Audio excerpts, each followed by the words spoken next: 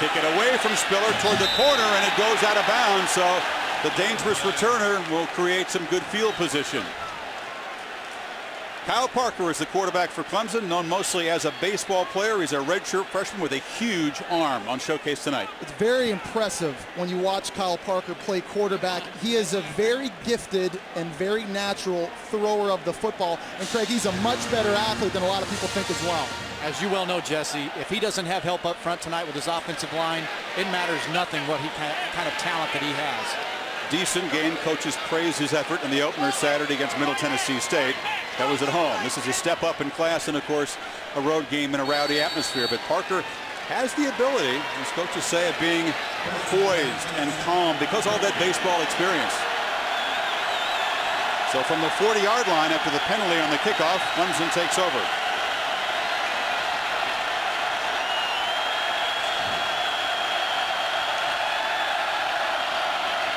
High formation pitch to Spiller. Has a little crease and a burst for about four yards. He is our impact player. C.J. Spiller closing in on 2,000 yards. He's the active career rushing leader in the ACC and also in all-purpose yards. And Jacoby Ford, you mentioned him earlier with the speed, but tonight he needs to be a receiver. He needs to be disciplined and catch the football. Middle linebacker Brandon Maye led the team in tackles last week. He is the most crucial part of defense tonight if they're to slow down Georgia Tech running the football. Empty backfield, four wide on second and six, and now a shift as Spiller moves back to the tailback position and takes the handoff. Hurdled a man at the line, and he has a first down into Ramblin' Wreck territory. Last season, we had Wake Forest and Clemson. And, and, at that point in the season, the offensive line was a real question mark for this Clemson football team. Look at the jerseys fitting on there and the running lane. There is such an advantage in this football game for Clemson up front. They easily outweigh this smaller Georgia Tech D-line. So 12 yards on two carries. Spiller gets a breather, and here comes Jamie Harper at tailback. Harper sophomore from Jacksonville, plows for a short gain. Brad Jefferson, the middle linebacker, on the tackle. We're talking about the size advantage of Clemson up front on the offensive line. At the lightest point, they're 25 pounds heavier than their opponent across the ball. At the heaviest point, Clemson's players are 65 pounds heavier their opponents across the ball. The dominance up front tonight for Clemson has to demonstrate itself for them to be successful. It's a pretty lean defensive line. You see a brace tossed away by one of the linemen, and now there's a scramble on the field to get it off in time. Parker. Incomplete. Bobbled by Jerrard Tarrant on the breakup there. He is the dangerous corner. The guy that kick returner extraordinaire too. Let's stay with this theme now, the offensive line for a moment. Brad Scott, former head coach at South Carolina. He's the O-line coach, center in the guard specifically. He's worked really hard with this unit. That was a mixed match last year, a lot of different combinations. He says, we're finally together. Let's see if we can play together. And Spiller at the bottom of the formation now on third and seven. Jackets show pressure, rush five, pump fake. Parker delivers, and it's broken up. Morgan Burnett, the rover, dove in, got a hand on it. A flag is down. Burnett showing why he has 11 career interceptions. Nose for the ball. Clemson says it's a penalty on Georgia Tech. Tom Zamorski, a referee tonight.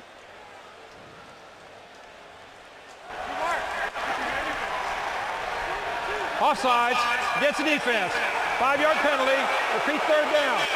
We'll make it third and two. We talked to Billy Napier, the offensive coordinator at Clemson, and he said one of the keys was keeping these third downs manageable.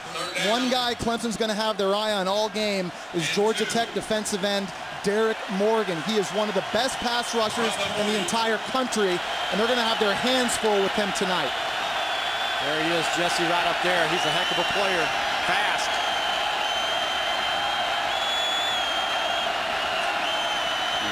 Formation and Spiller off the left side. It'll be close at the 38.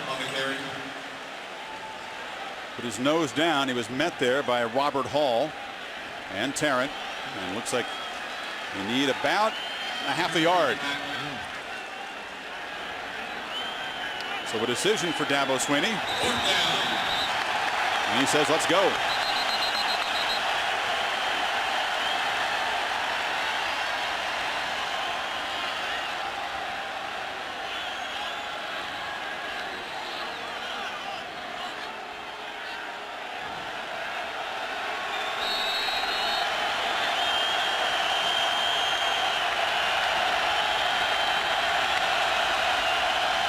This is Spiller, and he's stopped in the backfield. Derrick Morgan, the All-American candidate at defensive end, makes the first big play of the night. Derrick Morgan is one of the more versatile players on defense for Georgia Tech. You will see him lined up all over the football field tonight.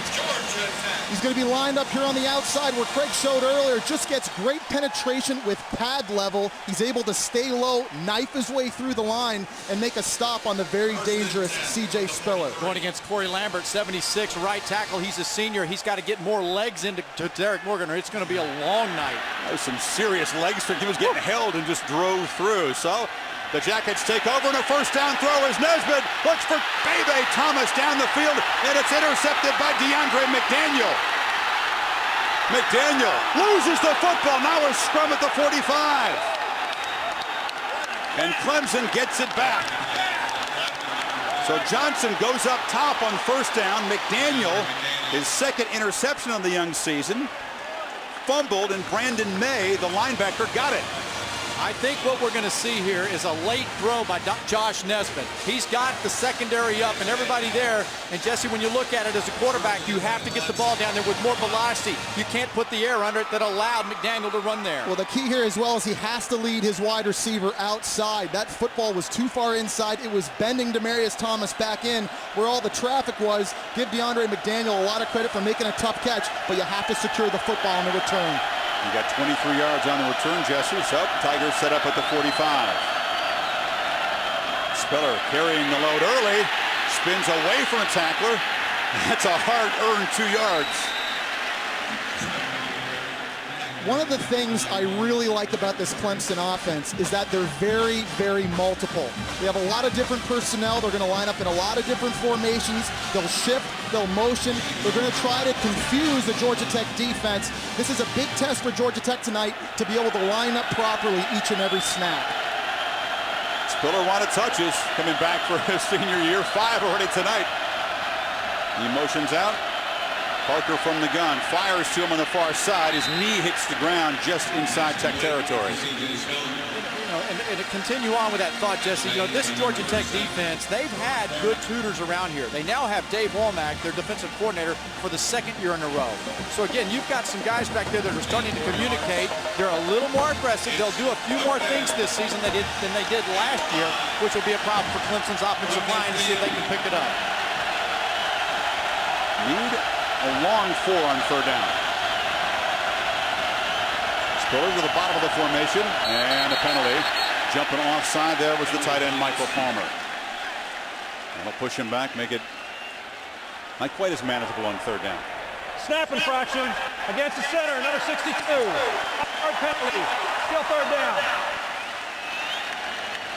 It's Mason Cloy, not Palmer, guilty of the penalty.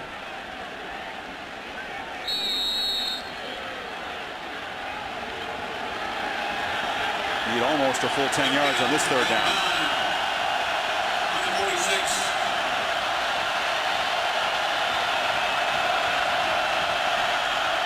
Parker flushed.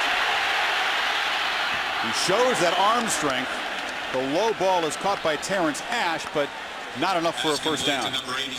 Just made the mention that Dave Wommack will change it up. He'll give you a different look all the time. That time he came with six, two from the outside, and it forced the young quarterback out of the pocket. One thing Dave Wommack told us was although they have a lot of veterans gone off this defense, there's a lot of young guys, this is a more athletic, faster defense than they were a year ago. You saw a good example of it right there. So the five-yard penalty hurts the Tigers, and they fail to cash in on the interception return. Dawson Zimmerman to punt. And Tarrant is back deep. Mana took a punt back against Jacksonville State in the opener. Calls for a fair catch at the 18. The opening play last week in the opener, Dwyer goes 74 yards for a touchdown. Tonight, an interception, and we expect that they'll get back to running the option very quickly here. They do. Nesbitt keeps it on the edge and the pitch. Anthony Allen, the transfer from Louisville, down the sidelines. They can strike quickly.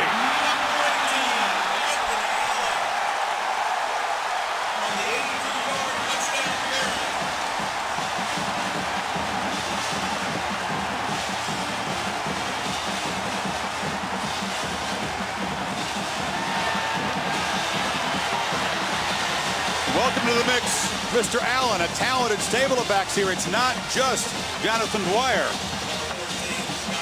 82 yards. It's a big play offense, even though it's an option offense.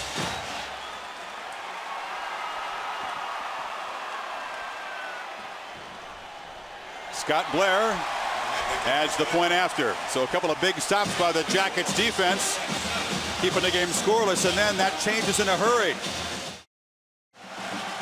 Bobby Dodd Stadium rocking. Jackets have run two plays, an interception, and an 82-yard touchdown run by Anthony Allen. Can't understate the importance, though, of that big stop on fourth down against Spiller, and then the stop after Clemson had great field position following that interception. Blair boots it high. Spiller will have a chance. Has a crease. And it's Blair who finally runs him out, but the Tigers will set up at the 42-yard line. The option is a thing of beauty when it's well executed. You'll see great blocks on the perimeter here. You're going to see Demaryius Thomas come out of the box. He's going to get a blow-up shot on Marcus Gilchrist. Roddy Jones right here will then lead the way up and get a nice cut block on Chris Chancellor. Boom. And, and keep this in mind, last week in the opening game, Clemson didn't go with a base defense. Three of the linebackers on the field right there are on the field for the first time together this season. So it's a first-time game for this Clemson defense. They were in dime against Middle Tennessee almost every single snap. After the kickoff return, a breather for Spiller and Jamie Harper. They fake it to him. This is the first touch for Jacoby Ford, and they're all over him. Tarrant joined by Sedric Griffin on the tackle. You know, and Jesse, the reason that Clemson defense wasn't together last week is they had a, an open up offense they were going against. So that, that's going to be a challenge for Kevin Steele, the defensive coordinator, right now to make the adjustments. Well, there's players and great players on the Clemson side of the football. Kavell Conner led the team in tackles last year playing outside linebacker. He didn't play one defensive snap last week. Tonight is his first action. You saw him get caught up in the wad inside. Second and nine, Ashe in motion. This is Harper. Not much. Craig, you talked about it. It's not a very beefy defensive line, but good quickness on this defense. A smart defense that communicates well, and you see that they're really uptight against this run, Jesse. It's going to open up a passing game. Well, Chris, you mentioned it earlier. They've done great tonight so far in sudden change situations. Big stop on fourth down. After the pick, get the ball back for their offense, which leads to a big play touchdown. They're playing big-time football tonight. They need seven on this third down. Parker pointing out where he thinks the pressure is coming from, and he's right. They pick it up. Parker delivers a strike and a first down catch for Terrance Ashe. Only played his second football game with the quarterback there. Jesse saw where the pressure was coming from. He shows a lot of poise for a guy who's only in his second collegiate football game. Points out where the pressure is coming from, knows it's all blocked up, delivers a strike, and anticipates that throw before his wide receiver Terrance Ashe is even turned around.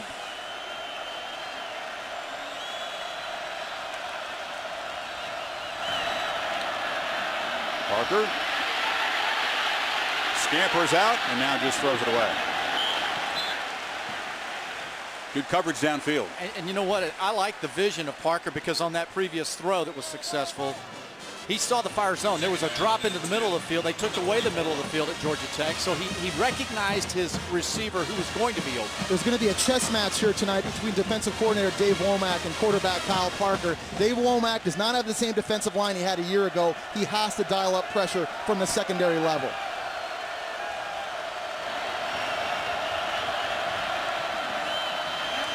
A little option look, and this is Andre Ellington. Driven out by Cooper Taylor. Got about five. You know, when I watched this running back group last week against Middle Tennessee, I actually thought they looked really good. They have a lot of versatility. They can rotate different guys in. I really like the lineup with C.J. Spiller, Jamie Harper, and Andre Ellington. I would argue they could be more productive than they were when they had James Davis playing last year. Well, certainly Spiller getting a lot more of the workload. On third and five, a high throw incomplete. Trying to rifle the pass to Jacoby Ford, but at 5'10", he couldn't get up there and get it. So now a decision here. What do you think? Fourth and five in Georgia Tech territory. Uh, you know, being Go for it, punt him deep. I punt it, I pin him, play field position right now. You know the defense is rested. They've only played two plays. There's an interception and a long touchdown, so that defensive unit's going to be ready to go. Yeah, they'll punt it.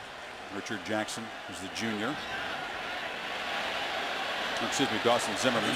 Oh, Jackson is a, he's the kicker, but bring him in to try a very long field goal here, a 56-yarder.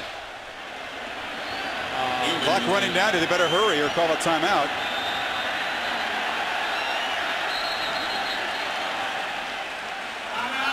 Clemson. It's her first charge timeout of the half. 30-second timeout. Didn't expect a 57-yard field goal attempt. Hasn't shown this kind of range. We'll see if they follow through after this timeout.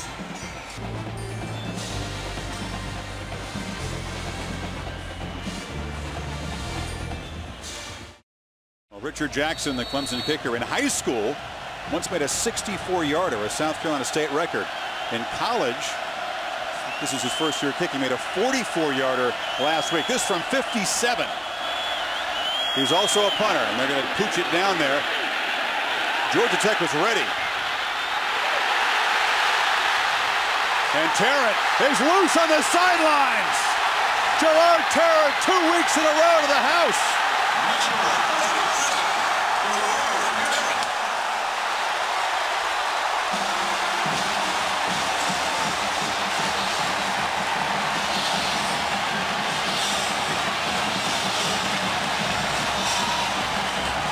Something tells me that's not what Dabo Swinney had in mind. Well, I'm a pretty good lip reader as you are, and he said, why didn't you kick that ball out of bounds? He just kind of poached it down there, and Tarrant ready for it. Shows why he's a breath of fresh air for a special teams that really struggled a year ago. Tech was not good at all, poor, in fact, in the return game. And now in back-to-back -back games, Tarrant has returned punts for touchdowns. Hadn't happened since 2003.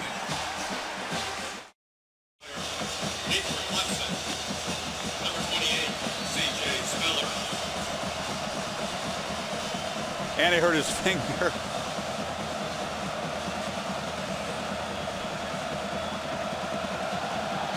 Spiller deep. Clemson in at a 14-point hole. This kip is taken by the up man, Ellington. And he plows straight ahead into traffic, and they'll take over at the 28-yard line. So they tried to fool the Jackets, but Tarrant was back ready to return the punt. Give Georgia Tech special teams coaches a lot of credit for playing field goal return safe. They don't send everybody to block this kick. Instead, they have Jerrard Tarrant back just in case to go for the pooch punt. Jonathan Dwyer talked to us this week about how freakish an athlete Jerrard Tarrant is. He said he's one of the best athletes he's ever seen. In fact, he compared him to Chicago's Devin Hester. And you saw right there why. Jackson getting a talking to from Swinney, but here's their kicker. You got to keep him there mentally. You might need him later. Parker pressured and sacked. Morgan again, second big play. Called momentum. And old momentum at home is mighty hard to overcome if you're a visiting team. Top, top of the field there. The speed of which Derrick Morgan comes off the top. He says, I'm a great pass rusher. I'm a get off at the snap guy. It's going to be very difficult for Clemson to handle Derrick Morgan tonight with only one player. They're going to have to use a tight end to help or use a running back to chip block to help. He's too fast off the edge. Parker flips it out to Spiller keeping a close eye on number 28. He's been busy tonight, but Dominique Reese, the linebacker, there to force him out. You know, you talk about Derrick Morgan and having a chip block and all. Brad Scott, the offensive line coach, told me on the field 20 minutes ago. He said, we will have a special package of blocking. Chip to the back, somebody helping. You know, one-on-one's not going to work. Well, I got to think, if I'm right tackle Corey Lambert, I'm getting ready for a wide set every time I come out of my stance because there's no question his explosiveness off the ball, we're talking about Derrick Morgan, is just unbelievable. They got to block him now on third and 12. He gets around the edge. Parker gets it away. Karam intercepted. Cooper Taylor on the deflection. Everything going wrong for Clemson.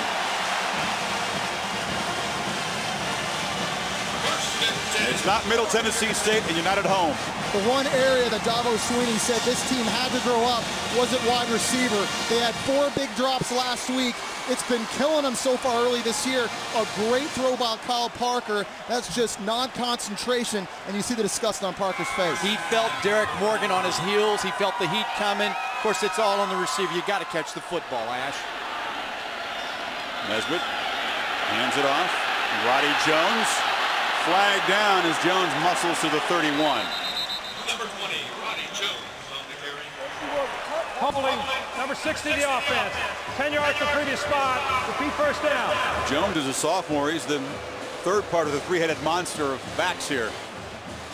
The, the coaching taking place on Clemson's side right now by Dabo Swinney and his staff has to be to try to settle down Kyle Parker in the offense and tell the receivers to make the plays. Because if they don't, they're in trouble right now. Well, Kyle Parker got off to a slow start last week, and it was because of a lot of drops. He started off two of nine. He had four drops early, and he even told us, he said, look, he got down a little bit early in that game. Here he is on the road, big test. They need to get him going, but he's played well so far. Hand off inside to Anthony Allen. Short gain on first and 20.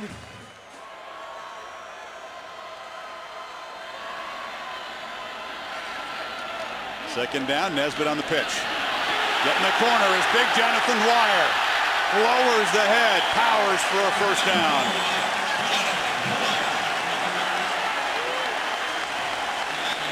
Seventeen yards, and they make it look so easy when they execute well.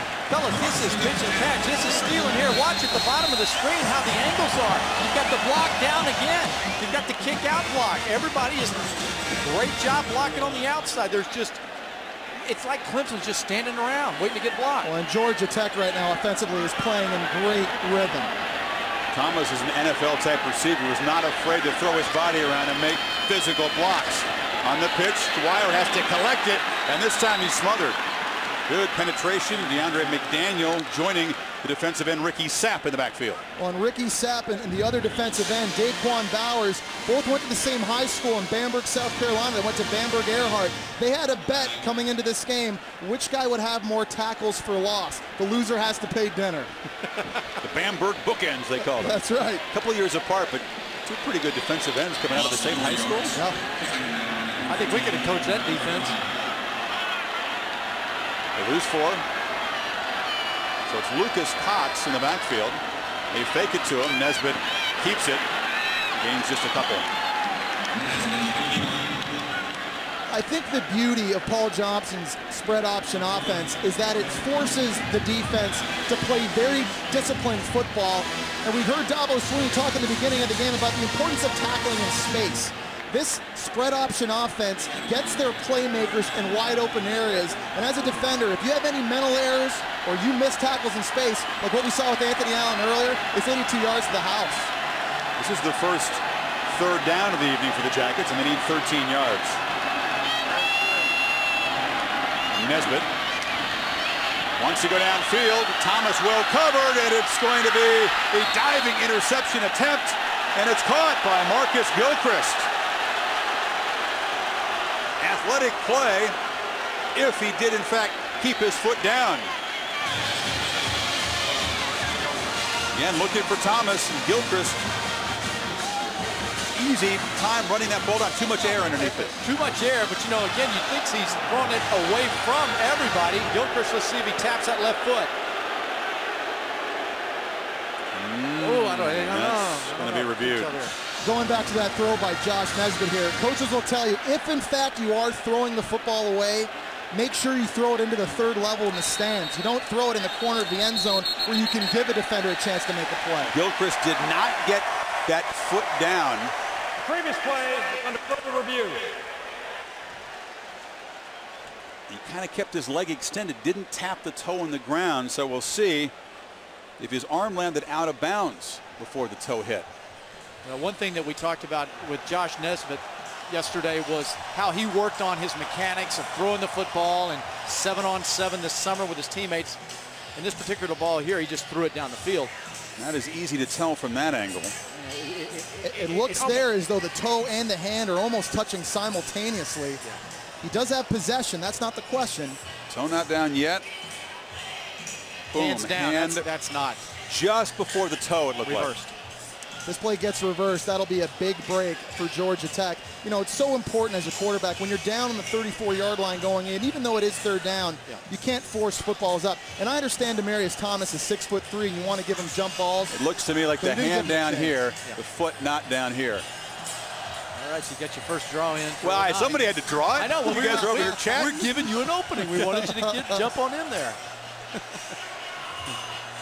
So if Nesbitt gets a break from the reversal of the call, and avoid an interception, he's thrown a pick at his only pass attempt so far, looking for Thomas both times. And you can tell the Clemson secondary, beaten a year ago up in their place, they got their eyes on number eight. I love, I love the thought behind these plays in Georgia Tech, using a big, tall receiver and a playmaker like Demaryius Thomas, trying to get him involved downfield.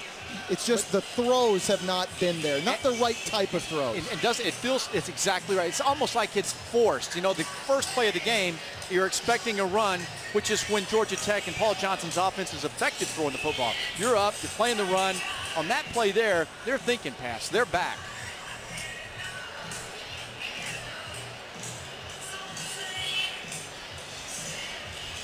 It was a bang bang play, and the replay officials will be very careful. Might be thinking about the clock time, where the yard, where the line of scrimmage was. If the call is reversed, it'll be fourth down for Georgia Tech. They'll have the ball at the Clemson 34. They don't have a long distance kicker and Scott Blair, has never made one longer than 40 yards in his career.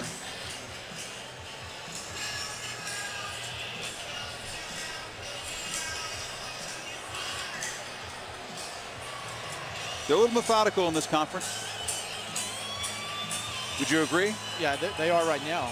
And and I tell you what, if I'm over at Clemson's side right now, I've got my guys huddled up. I'm talking about, you know, let's let's refocus. Let's, th- this is going to be reversed here probably, guys. Let's get ready to go back out there. Let's do our job and get your team together. It's almost like you'd like to stretch again and start the game over.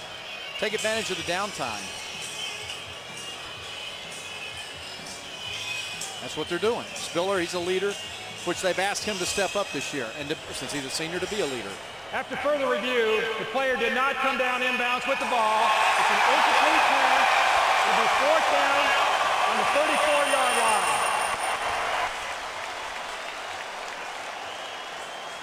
A bang bang play. Very close and a great effort by Gilchrist, but he just couldn't tap that left toe in the end zone.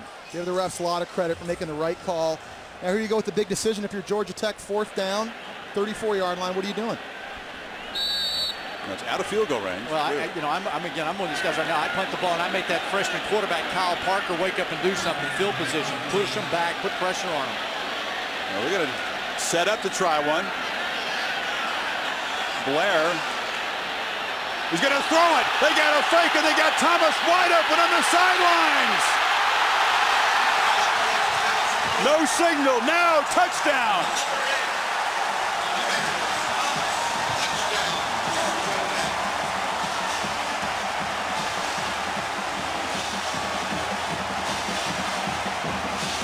Clemson caught napping. The mass confusion occurred during the substitution. They didn't account for Thomas during all of the changing that was taking place. They never saw number eight staying on the field. During the offensive plays, they kept a very close eye on him. On the fake field goal, they forgot about number eight. So after throwing a touchdown pass, Blair boots it through. And the Yellow Jackets, with execution and trickery all over Clemson. The special teams coordinator Jeff Monken sends on a late substitution. Clemson players, like you said, Craig, they just don't see Demaryius Thomas lined up all the way outside. The ball gets directly snapped to the kicker, and I think everybody's thinking pooch punt, and all of a sudden there's Demaryius Thomas all by himself down the sideline. Paul Johnson and his coaching staff are outstanding. They've been around, done it a long time, and that's excellent coaching during the week. On many times, how many times did we hear a coach tell us, "Do this"? It's a little trickery here, but we're going to run you in and out. And, You know, I- guys, I got to tell you, though, he hadn't made a field goal in his career over 40 yards. So has set up for a 51-yarder. Are you buying that it's going to be a field goal attempt? Well, again, now if Clemson had set up in field goal safe like Georgia Tech had done earlier, they would have had a player on the back end that may have been able to break that play up down the sidelines. Eight offensive plays. Anthony Allen, the touchdown run. Tarrant, the punt return. Again, as Clemson tried to outfox the Jackets, but just outfox themselves. And now the fake field goal touchdown pass. That's a lot of stuff in one quarter, and all of it good for Tech. Some long faces in orange and purple tonight. Yeah, but about- Dabo do. You talk about getting rocked on the road. Yeah. This is a lot to recover from in your second college game for a redshirt freshman quarterback.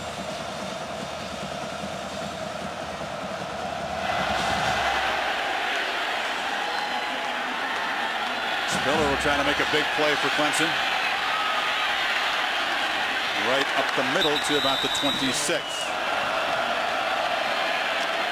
Short game for Spiller.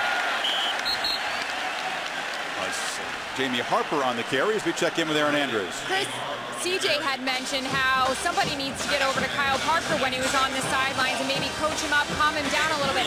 CJ, I got to tell you, the whole time Kyle Parker was on the sidelines, nobody went near him. He sat on the bench by his wide receivers. Nobody talked to him. He didn't put a headset on. Even in that huddle, when it, the play was under review, nobody went near him. They just talked to the offensive lineman. Hmm, interesting. Can't put the pick on him though. It's right off Ashe's hands. On second down, Parker flips it near side. Jacoby Ford darts quickly across the 35. Sedric Griffin forcing him out. Got about three. This is a, a drive, I think, that will show the mettle of Dabo Swinney's Clemson team. You're down 21 nothing. It's the first quarter. You just have a fake field goal thrown for a touchdown on you. That can be so deflating. They have to answer right now on offense. As a player, competitive player, and you've had yourself embarrassed in front of a, a national TV audience, if you don't stand up right now and get hair on your neck, you're not a player. That was a year ago against Alabama in this city, different stadium. They got punched in the mouth early and never really recovered against the Crimson Tide. Spiller in the backfield, Ashe in motion, and now a whistle. We call a timeout. Timeout. Clemson. 30 second timeout.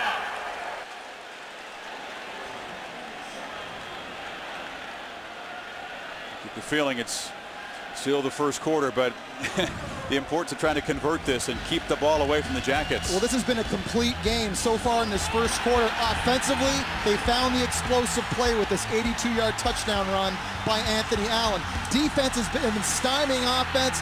They've been sitting down, playing great and sudden change. Special teams, though, to me, is really where Georgia Tech has made the difference. And and Dabo Swinney kind of messing around out there, not really going and punting the football, the fake field goal for the touchdown pass. Just a lot of toying with Clemson right now. Two different kicker stories in the first quarter. Richard Jackson pooches the punt, gets into a dangerous return guy, then gets run over by two big guys. His counterpart Blair throws a touchdown pass. And kickers are known to watch each other across the way, right? You know he'd like to go over and change helmets.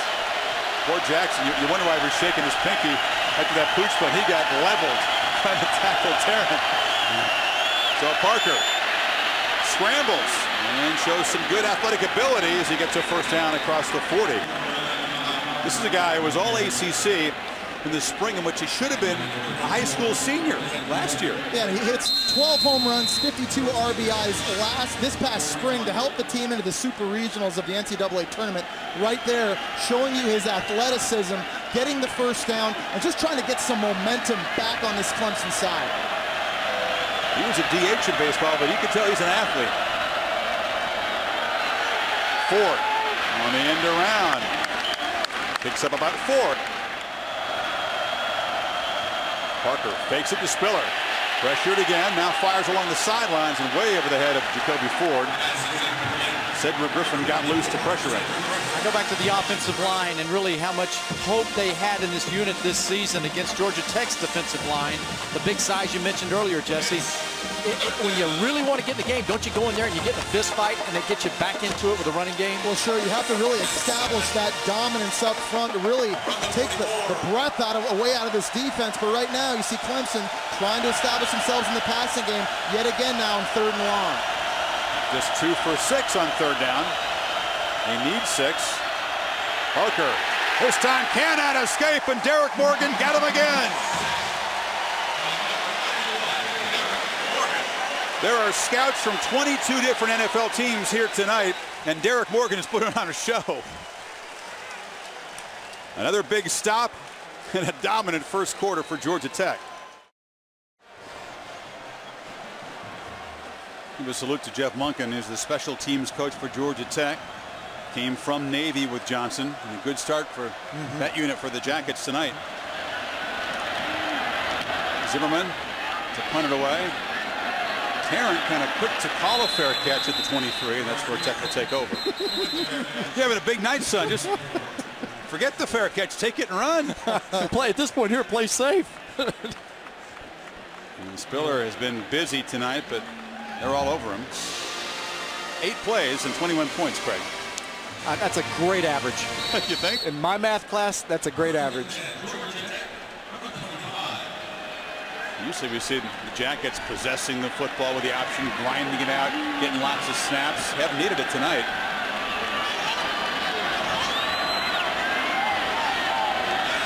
Allen and Jones in the backfield, along with Dwyer, who takes it up the middle. Doesn't look like much, but they get five. How about this? Let's let's step back just for a moment for Georgia Tech, who came off a demolished loss, terrible loss against LSU in their bowl game, right? And everybody was saying, well, they figured this offense out, right? This team there may not be as good. Everybody's got tape on them. What do you think? No, I don't think anybody's figured it out. I, I think LSU played a game and Georgia Tech having just beat Georgia was too high on themselves. Here's the handoff. Broken tackle by Dwyer, and he gets across the 44-yard line. You want to make Paul Johnson mad, tell him that LSU provided the blueprint. Now this offense has been figured out in the second season. You will get fired up. This offense, offensive line, they really do a lot of blocking down low, and so it allows running backs many times a chance to break arm tackles. And as strong as Dwyer is, he's going to do that. Oh, and he's a great build for this style of, of offense. Six feet tall, 235 pounds. He can stay low to the ground and pull defenders along with him. He had the longest touchdown run in Jackets history a year ago, so he can also take it the distance. Nesbitt spinning for another nice first down game. But this is something Josh Nesbitt has to do a great job of tonight. He has to take care of the football. He's going to carry the football a lot of times tonight. He put the ball on the ground three times last week against Jacksonville State. He's an outstanding runner, but he cannot hurt his football team. He has to keep that football tucked close inside. Parker watching and hoping the deficit won't grow bigger by the next time he gets the football.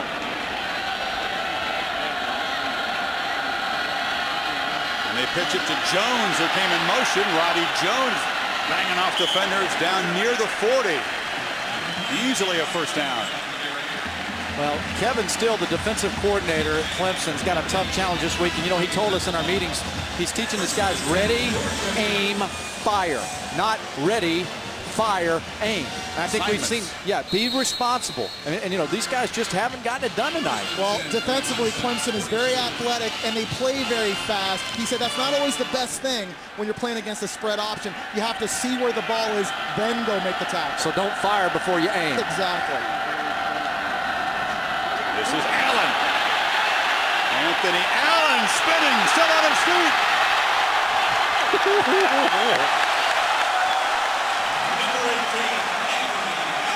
So you got the ACC Player of the Year coming back at Jonathan Dwyer. Let's just throw in Anthony Allen over from Louisville. But Georgia Tech was so dangerous last year when they had Jonathan Dwyer and Roddy Jones. Now you bring in Anthony Allen, who really is the same type runner as Jonathan Dwyer. You see the power. You cannot tackle him high. With Anthony Allen now, this is as deep as Georgia Tech has been at running back in a lot of years. This is an outstanding running back unit. How about Josh Nesbitt, the quarterback, getting down there, pushing him another six, seven, eight yards? Lucas Cox into the ball game. This is Dwyer ahead for nothing on first and goal. Boy, if you're Clemson, do you think about making a stand here? I mean, you get on 28 nothing. It's absolutely, really in trouble. It's absolutely critical. But, you know, you feel for Kevin Steele. He had four days to prepare for spread option offense. Really only two of those days they could play full speed. That's a tough deal. I, I, hear you on that, but let's back up a little bit. Now, he did tell us during camp they went two-thirds of their time focusing on this offense. They worked on it back in the in the spring. So his players are, are doing way too much aiming and no firing. You know, no they're, short watching excuses. No short week. They, they should have been ready. This is Dwyer on the edge, finding the block of Allen, getting to the five. McDaniel there. You think of some of the other difficulties when preparing for a, a spread option team, mm-hmm. the cut blocks up front on the on the offensive line. When you're practicing, you can't have your own players chopping you at the knees. So Kevin Steele said they were trying to throw bags at their players, medicine balls, and anything they could to simulate what they would see tonight. And so far, Craig, it doesn't look like they've been ready for it. It's a great example of how you can't simulate game time, and especially those blocks. Is a medicine ball like a 270 pounder? Diving at those. I wanted to ask, what is a sandbag 10 pounds, 5 pounds? What is it? Well, they're a little bit shorter also. Third and goal. Good job on Jones there. He's dropped for a loss. Penetration from Ricky Sapp. His second tackle behind the line. Well, first time you said his name, isn't it, Chris? Ricky Sapp.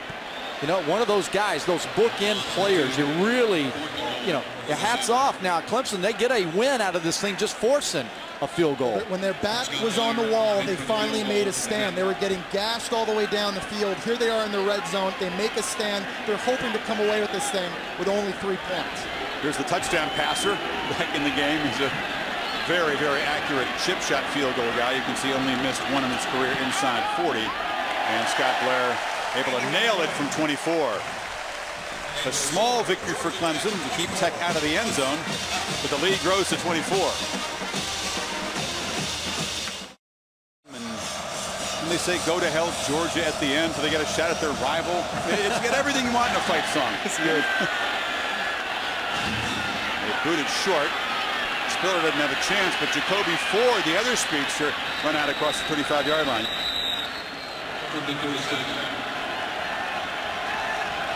Well, desperation time now for Kyle Parker and this Clemson offense. Feel they need something positive to happen soon. And they'll throw downfield. And a man wide open is Spiller. They're not going to catch him.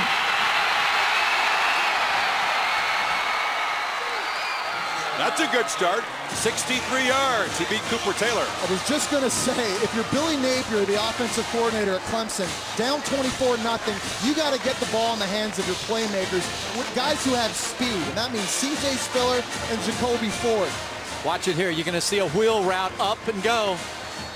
Linebacker and Taylor bid on it. And that's a great throw by the young freshman Parker. But, you know, when you're in a game like this and you've got speed out there, you can have quick strike ability. You're not out of the football game. And you got a 10, 100 meter guy. Forget about catching him. Just getting it through there is Jackson. So Spiller with the explosive play. Good call, good throw. Still a big lead for Georgia Tech. Can they stop the Jackets offense? We'll find out.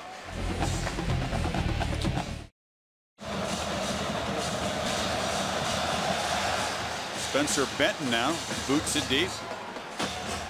Orwin Smith is a true freshman. He dives to the 25. Like this block in the touchdown pass, Greg? Watch the pass protection here by 265-pound fullback Rendrick Taylor at the top of your screen. Sedric Griffin, the outside linebacker, is going to try him, and he just gets stoned. Craig, if you're an outside linebacker running at a 265-pound fullback, are you trying the bull rush? He's 225-pound linebacker, 5'11", so he's got some leverage. You know, you think he's probably got a little motor that he's bringing to the game, too. I think I'm going swim, rip, 265. spin move, Would something. you have liked that? You wouldn't have liked me as a pass blocker. no. They put old Rendrick in there in goal line situations as a lead blocker, too. Nesbitt on the pitch. Roddy Jones to be tackled after a short gain. So Ricky Sapp, who's been active tonight. Let's see if that touchdown pass inspired the Clemson defense. You can notice the number of jerseys and the helmets from Clemson. Let's check them out on defense. Let's see if their motor's picked up. Well, and a big stop, and this is a big series for this Clemson defense. Quick strike touchdown from your offense. Now you get a chance to get this football three and out back for your young quarterback, Kyle Parker, to help bring you back into this football game.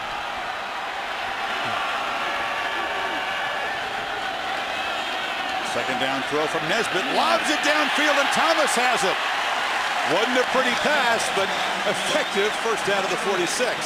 When you've got a tall receiver, it doesn't have to be perfect, does it? You know, when you've got a guy who's got a height mismatch over there, just give him a chance to get the ball up there. This is what Josh Nesbitt has not done a great job of yet. All he's got to do is really just give him a chance. Again, six foot three. He has the ability to go up and high point the football. He shows you those strong hands right there. You talk about the revolutions on the. That was not a fast spinning football. Go ahead, it? go ahead, go Talk about those revolutions. Yes, he did. Allen to the 49.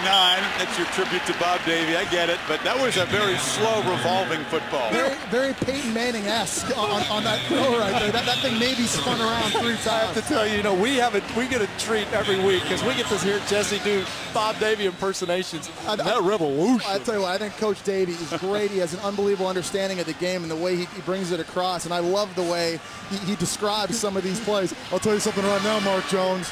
You want to talk about velocity? How about the revolutions on that ball now? How about the power running of Dwyer? Another first down. What a way to squash momentum if you're Georgia Tech. Just take the football back. You got burned by a touchdown and start marching. Good points you make there, Chris. You know, this Clemson defense, they tried to come out and show up on this series, but how about hats off to Georgia Tech? You know, this offensive line, this offense, steady Eddie, keep the pace.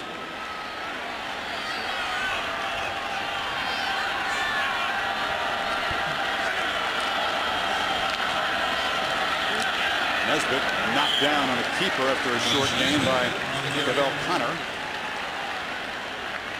It, it puts so much stress on a defense playing this style of offense because the football can be in three different places simultaneously on the same play, right? You got the dive, the quarterback can keep it, or you have the pitch. You have to play flawless fundamental football in terms of your mentality on defense. And as a defensive coordinator, you can't really go dial up a whole lot of different things because it's going to be the dive. You better cover it. Here comes the quarterback on the corner. Get the pitch back. Buck 85 rushing already for Tech.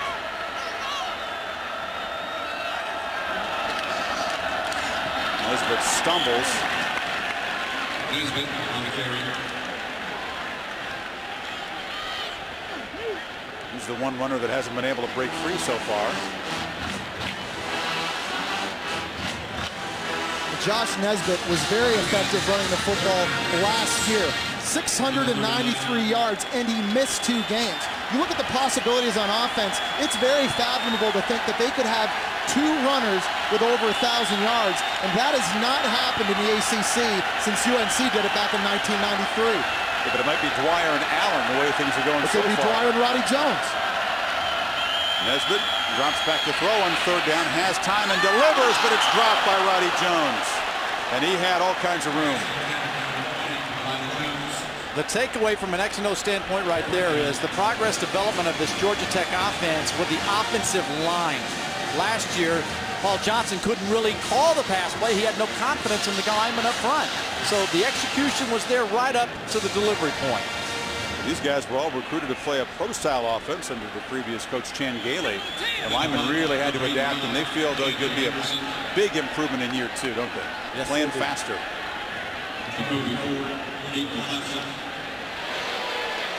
Chandler Anderson, as the clock ticks down, we snap it with a second to go. Tries to knock it down deep like a sand wedge. It'll bounce dead about the 12-yard line. So another effective special teams play for Georgia Tech. Recover from a nightmarish start here, down 24-7, then take over at the 13. Less than six and a half before halftime, and this Derrick Morgan-led defense has been playing well. Uh, you know, the leverage early in the game, you saw that the blocks just weren't going to be there solo, so they've tried to put two on him. No way you can let him go by himself one-on-one. Georgia Tech last year had three defensive linemen drafted to the National Football League. And you ask their coaches, they'll tell you Derrick Morgan is probably the best of any of them. One of the few Northerners on this team. He comes from Pennsylvania. Spiller gets the corner and scoots for a short gain. Tarrant forced him out. Erin, how about Mr. Morgan? Well, Jesse was the one that pointed it out in our meeting yesterday. That bursa sac on his right elbow. He's got it covered up with a kind of a pad over there. That thing was as big as a softball. He says it's just a little painful. I was talking to the trainers over here on Georgia Tech's side of it. CJ, you were right. They don't want to do anything to it, afraid of infection, but they said, hey, anything to help him keep him going, let's keep it on him. You better keep an eye on him, Erin, on third down. You need four. Parker in the gun. there's a nice throw in traffic. First down catch by Ford. And guess who was in coverage on that play? Derrick Morgan. We talked about his versatility. He's going to line up outside in the 4-3. He'll stand up in 3-4 defense. Here he is right here at the bottom of your screen. He's going to go out and cover Jacoby Ford in the flat. Derrick Morgan there showing you his athleticism and his versatility. Crucial pickup on third for the Tigers. This is Ford in motion, but Spiller Short gain left, another tackle. He's all over the place. The guy has a motor, and he's smart. He's got vision. His instincts to the football are unbelievable. And that's like, you know, these coaches we're talking about last year's three good players, but look at this left, goes down the line. For 272 pounds, he's got those cat-like reflexes. He's got great agility, great speed. He plays patiently enough to watch the zone read and then chases it downfield to make the tackle. Another zone read. Spiller shows some push up across 34-yard line. Taylor on the stop. Again, Derrick Morgan with those 28 NFL personnel people, including president of the Colts, Bill Polian, from 22 different teams. A little showcase tonight well, for him. Clemson right now, they need to take advantage of him being aggressive, falling down into the middle. They need to get to the perimeter. Six tackles already, three of them for loss. You need a long yard.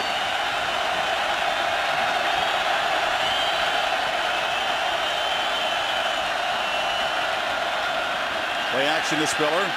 Parker. Looking across the field to Ford. Underthrown and intercepted by Butler. They had him early, but Mario Butler recovered. First and 10. This is a challenge now for the wide receiver. Jacoby Ford's got to go for the football as much as the defensive back went for it. That time, Butler wanted the ball more in the air than the receiver. I love the concept by offensive coordinator Billy Napier getting all this flow to the right side of the field. There's Jacoby Ford breaking across the other side, but this throw has to be led further to the left. He slows his receiver down, and again, at 5'10", not that physical, Mario Butler just outcompetes to the football. Mario Butler, the high school teammate of Tim Tebow at Nissan Jacksonville. Jones just stringing out well. He'll lose about a yard. Here's the reaction of Parker. He's so poised and wasn't nervous before, but the frustration's starting to build. And, and he's trying, you know, Dabo's trying to tell him, look at the look at the play. You've got him out there, plant your feet. You saw him falling back when he delivered the football. Didn't have quite the power to let it go. Veteran moves to, to hide that little outburst there with your helmet. Doesn't every quarterback have a, a fictitious man inside their helmet they can talk to? Absolutely. I you have one? football players do. Sounding board.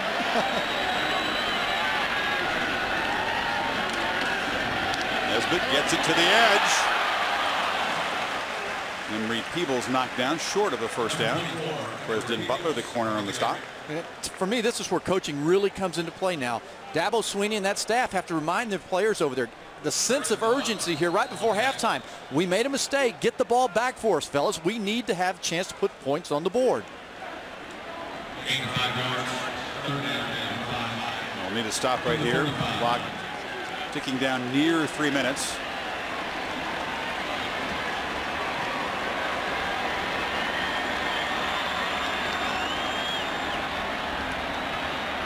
Nesbitt the screen, but he threw it low. Dwyer was well covered. Craig, like you said, the Clemson defense answers the bell. They step up. They're now going to give the ball back to their offense again with a chance to march down the football field here, hopefully eat up some time and score points and not give the football back to Georgia Tech.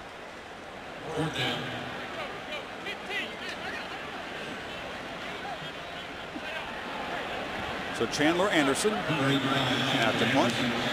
Spiller and Ford. Back deep.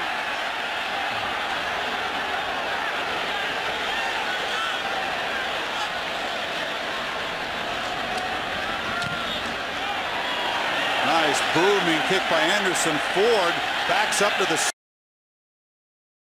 six. World-class speed. Up 242 before halftime for Parker to work with. Spillers to his left. Jackets rush just four, but flush him out. Tight roping the sidelines. No signal yet at the 41-yard line. It was Ashe who dropped the easy one early and did not get the feet down here. At least Ashe worked back for his quarterback, didn't he? You know, he gave him a chance and an option to throw the football once he broke the pocket because he had to. Derrick Morgan ran him out of there. Oh, and he's trying to get both feet down. You see him chopping them a little bit. It might be worth a look. His Absolutely. Toe, yeah. His toe looked inside the line. A reverse angle would tell whether or not he had possession of the football. We'll take a look. Please, please reset the game clock to 2 minutes 38 seconds. The clock had been running after that ruled incompletion. Another look. Well, now, here's something. Wide receivers work on this drill every day in practice. They practice having the awareness of where that sideline is and getting their feet down. You'll see here Terrance Ashe, nice job stretching out, trying to drag those feet in bounds. It looked to me as though they may have been on that chalk. Yeah, I think Jesse, that right foot is on the is on the chalk. But here's a guy who dropped a pass right in his hands early in the first possession of the game and then is able to almost tightrope one on the sidelines. It's a great effort. May not have enough evidence to overturn the call on the field. Very tough to tell.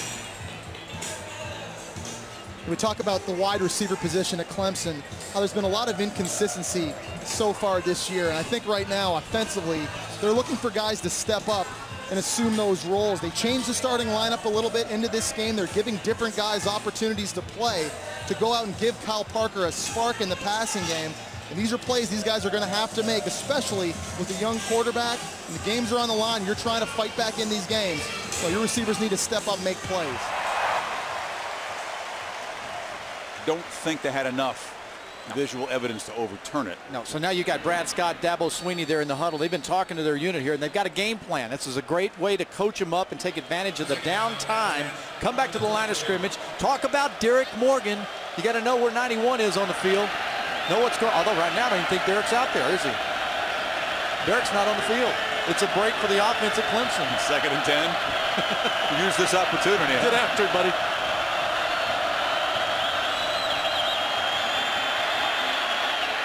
Again, Parker throws on the run and again incomplete. Same sideline. This time it was Brandon Clear who couldn't stay in bounds. Those are tough throws for a quarterback, especially when you roll to the, your, your right. If you're a right-handed thrower, the way that ball is spinning, you have to remember as a quarterback, it's fading away from the field of play. And sometimes on the run, when you got a receiver so wide open like that, you almost want to just try to dot him in the middle of his chest instead of forcing him to make a stretched effort on the sideline.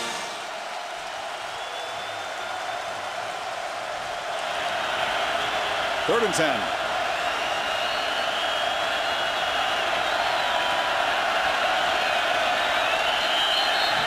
It'll be third and 15. Just his presence in there. Derrick Morgan came back in the game on that left side. 76 of the offense. Five-yard penalty. Third down. Corey Lambert experienced, but 91's been eating him up. Well, and, and Morgan tells us that his greatest asset is his jump off the ball at the snap. And so the, the right tackle, Lambert, knows I've got to get back immediately. I didn't like the, the second down call. I would try to go on for five yards or so, move the chains, be more methodical about your approach. Spiller and the tight end, Michael Palmer in the backfield. They pick up the rush, plenty of time for Parker. Now he's flushed out, and once again, has to just chuck it away. Anthony Egbuniwe with the late pressure, but good coverage again by the Jacket secondary. We'll check the flag. Offsides. 91 to the defense. Five-yard penalty. Still until third down. It can't be a perfect half, I guess. Sometimes I think when you have that great start and that great jump off the ball, you can be a little bit too early sometimes. One thing that's interesting to watch, Dave Wommack told us, the strength of this defense is the back seven. It's not the defensive line like it was a year ago. He wants to get pressure with only four players. That might be a little bit different if he has to dial up these pressures continuously. His presence created the false start. He gave the five yards back, so we're back to third and 10.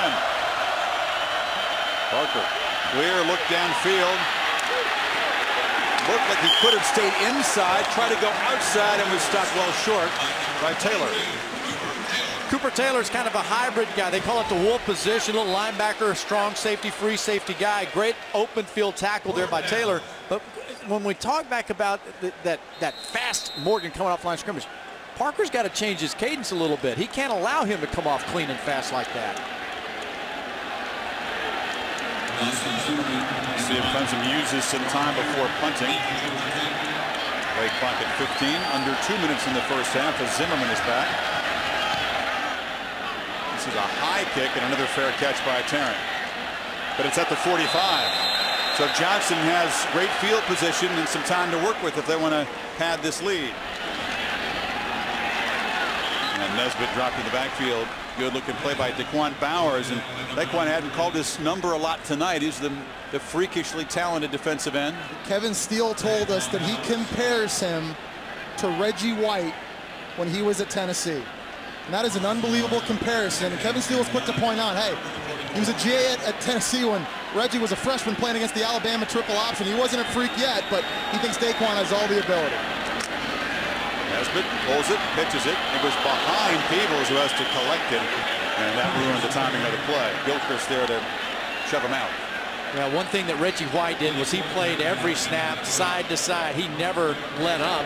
Last year, Da'Quan was really good when the ball was away from him. Now he's working on when it's to him. Came into Clemson with a lot of hype as well. ESPN.com ranked him the number one high school recruit in the entire nation when he got to campus at Clemson. The coaches say he's got a lot of talent, he's got to grow into it, but he showed remarkable progress here this past off season. See him clapping his hands trying to get his D-line fired up on third and nine. Nesbitt looking on field, overthrown for Thomas.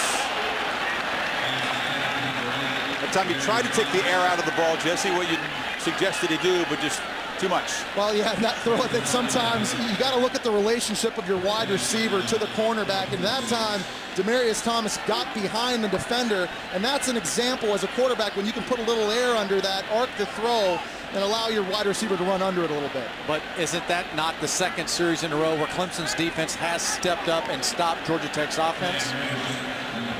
Hanging around, still down 17. We're going to see if Anderson dares to put it deep. They got a high snap. A line drive kick in traffic, and Ford, a dangerous play, came up. Goes out of bounds at the 18-yard line. That's where Clemson will take over. Got a minute and one to work with. Uh, you know what? Uh, again, you can go, at least go to the locker room now defensively and know that you can stop Georgia Tech's offense.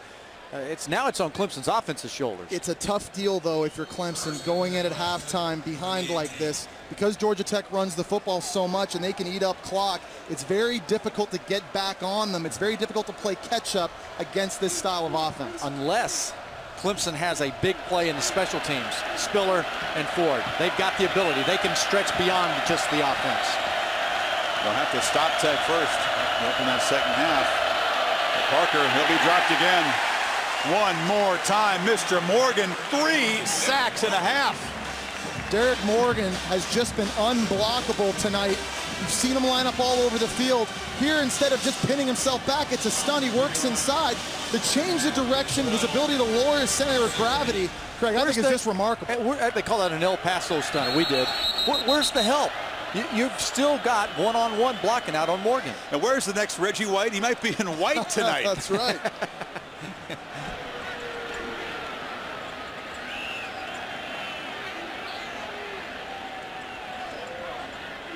not like they didn't uh, expect it. I mean, Morgan, you come in the scouting report is you have to account for him. He's the returning starter. Better than guys like Darryl Richard and Michael Johnson and Vance Walker, who all look in the NFL.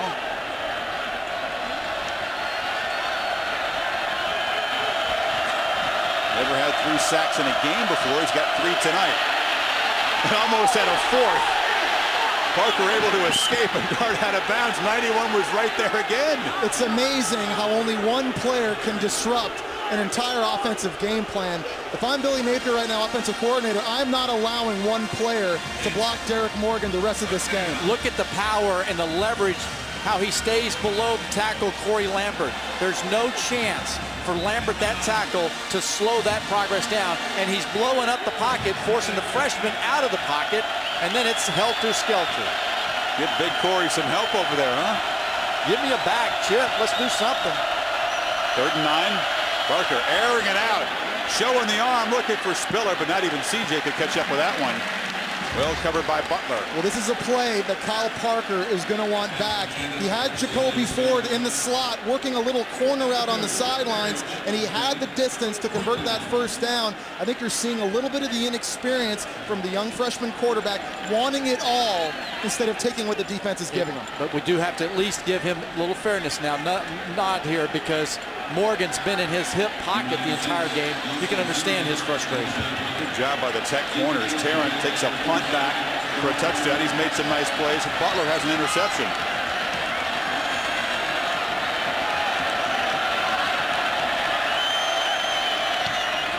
Zimmerman, good looking boot. This time, no fair catch from Tarrant. Did it touch a Tech player? Bounces out of bounds at the 45. It's a good break, a flag down as well. Did they crowd him? It, they did, absolutely. Interference with the re return man.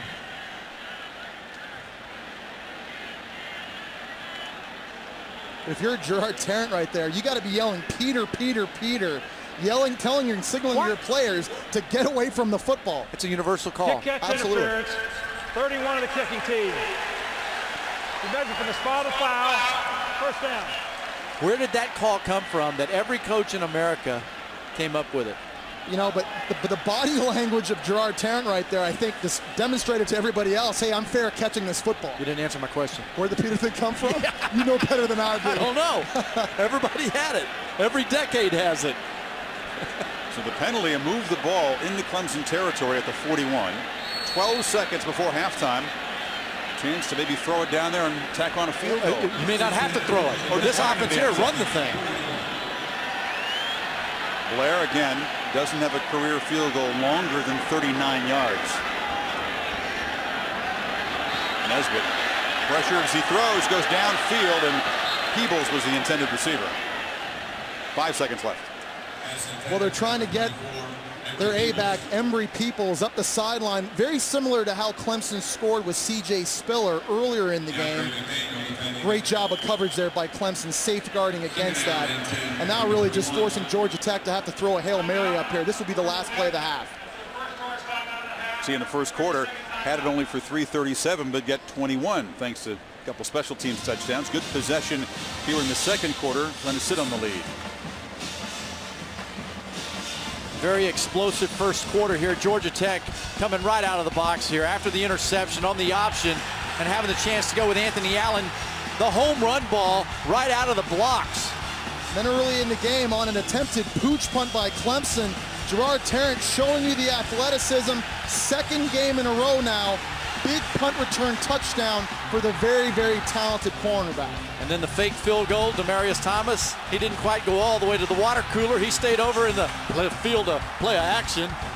Scott Blair, what an efficiency rating he's got as a passer now.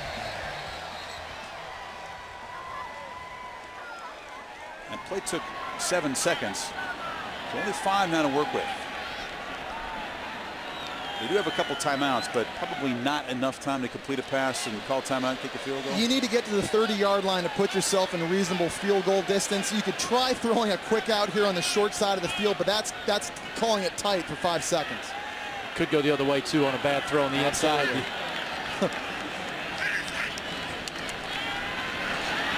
will be the last play of the half. Nesbitt firing down a wobbly pass way out of bounds. Stephen Hill, the true freshman, was in the area. But all in all, impressive first half in all phases for Georgia Tech.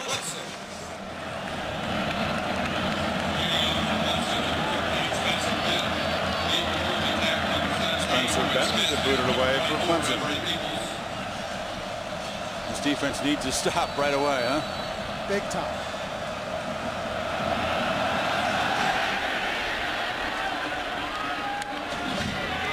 Coming up to take it is Peeples. And he got rocked at the 22. Coach, Can you give me somebody to help block Derrick Morgan? There's no way that Clemson can allow only one player to fit on Derrick Morgan. They need tight end help, running back help. And if I'm Clemson offensively, I'm running draws, I'm running screens to take advantage of Derrick Morgan's speed off the edge. Craig, you mentioned it earlier. They got to do a better job with the snap count as well. Nesbitt, meanwhile, keeps it for about five.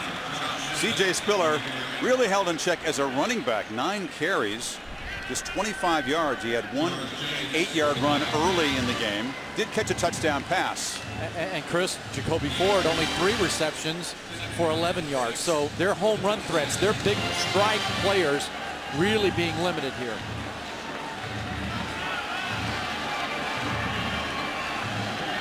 Dwyer lined up behind Nesbitt, and he's got it.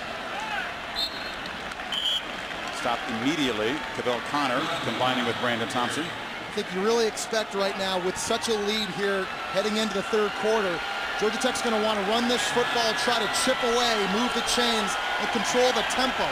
Paul Johnson is 8 and 1 at Georgia Tech when leading at halftime.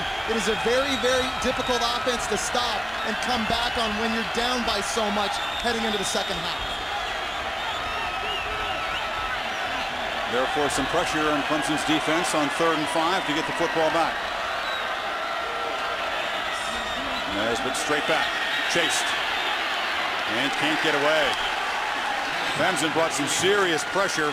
Came from the middle, and then Da'Quan Bowers was there to clean it up. Able to get it done, though, really with four guys. And that allowed that six, seven guys to drop back into coverage. And, you know, a great start. The third series now, this Clemson defense has been out and stopped the Georgia Tech offense. We heard Paul Johnson say before going in at halftime, the offense had been inconsistent. And that's what he's talking about right there. And you need to start moving the chains, really get this thing going. They haven't been able to do that. Two special teams touchdowns. Aside from that, I'd argue the offense hasn't exactly looked brilliant. So Spiller and Ford deep. Anderson. It's a low kick. Bouncing in front of Spiller and going backwards and out of bounds at the 43. Erin? Hey, CF, I was trying to get the temperature of what exactly was going on in that Clemson locker room during halftime, but when head coach Dabo Swinney came out, he's very calm, and he said what he did preach to his team was patience. He said, just like CJ's been mentioning, defense has been playing well at the end of that second half, and that is the positive thing this team needs to build off of guys were bobbing their heads, kind of singing to the music when they came out, trying to stay positive. And I got to tell you, C.J. Spiller was the one guy trying to, you know, be positive on the sidelines, kind of get his teammates up as they started the second half. Erin, we were talking, Spiller trying to be a more vocal leader of the football team this year. He can make a play here, bounces into the outside and pushed out of bounds finally by Burnett after a nice gain by far their best run of the night and a late flag on the sideline. So a 19-yard gain and maybe 15 more.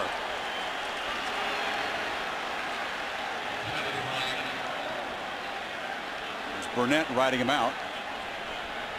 That's exactly the start that Dabo Swinney wants here at the start of the second half. Personal foul. Late hit out of bounds. 15 yards from the end of the run. Automatic first down. It all starts up front. This offensive line that we highlighted and showcased at the early deal, you'll see here a fit and a push backside. Look at the hole. Look at the push. Well, That's this, the attitude. And this play is designed to go to the right, and C.J. Spiller does a great job with his vision with the cutback. And the speed takes care of the rest. So 34 yards in total with the run and the penalty. And this is Spiller again. Another look at what happened on that Clemson sideline to draw the flag. It's Burnett. I don't know. I don't know about that. I don't either. I mean, come on. He's riding him out of bounds. He kind of fell down and dragged Spiller down with him into a bunch of Tigers over there.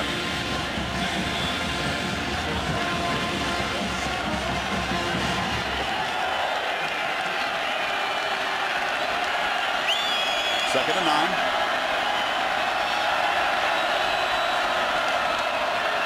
Spiller, he's going to throw it. They were lucky not to get that picked off. A wobbly effort from CJ. And Butler already has one pick tonight, was in the neighborhood. Well, he's going to throw it. That's being kind to what he just tried to do. Put that one back in the in the bag. I know. Yeah, he can catch it, run it, punt return, kick return, but he can't throw the halfback pass. Spoken from a guy who, who definitely did that very well, Greg. I give you credit for that. Thank you. They didn't even have him fooled. I'm not sure a good pass would have worked anyway. So now third and nine.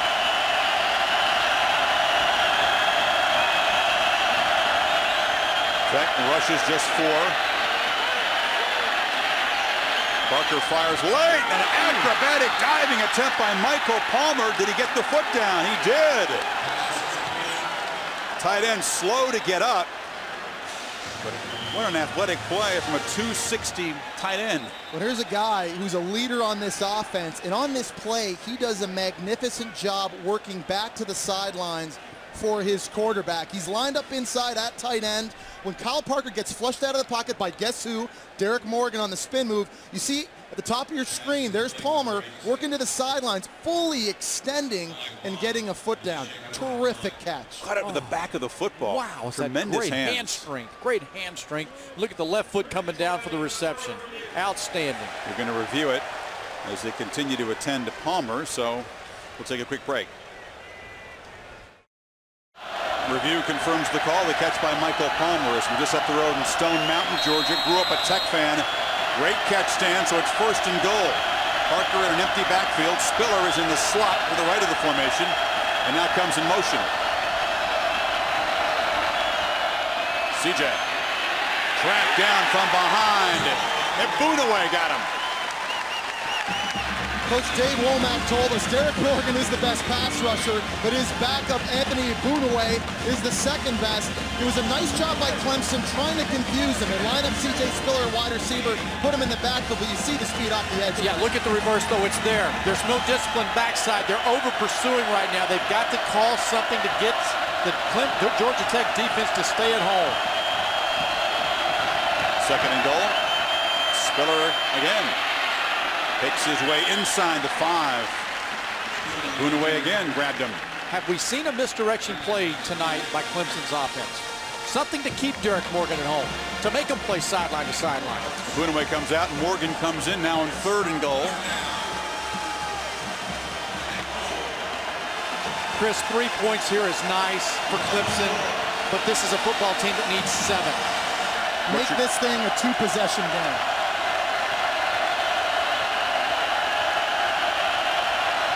Spiller and Dwayne Allen, number 83 in the backfield. Jackets show pressure and draw a penalty. Chris Hairston, the right tackle, came out of his stance. And the third down just got a little bit tougher. The effect of all that quickness up front. It's unbelievable. Can change the game. Ball start, 61 of the offense, five-yard penalty, third down. Very difficult on the road in the end zone where the students are down here for Georgia Tech. But this is where the right tackle has to really hold his water and sit in there. And Kyle Parker, the quarterback, has to change that cadence. He's got to have confidence that they only know they're going to sit there to the ball snap. Look at the wackos in the front row underneath the goalpost.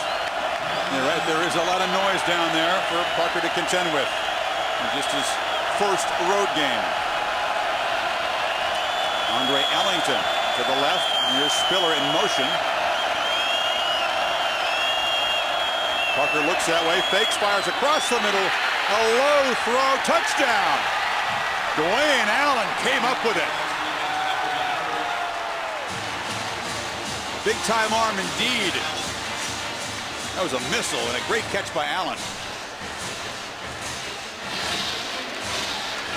Clemson's going to use a double move here from their tight end Allen. You'll see him lined up right here. He's just going to run an out and up.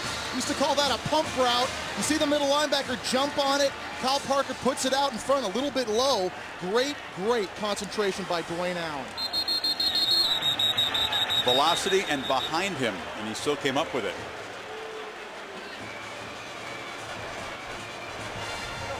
Previous play is under further review. Or did he? Review guys have been busy tonight, but this is a crucial play. Take a Dwayne. Allen is a freshman, redshirt freshman, and last year they said that he slept in the meetings. You know, this is a player here, ball in the hands, arms underneath.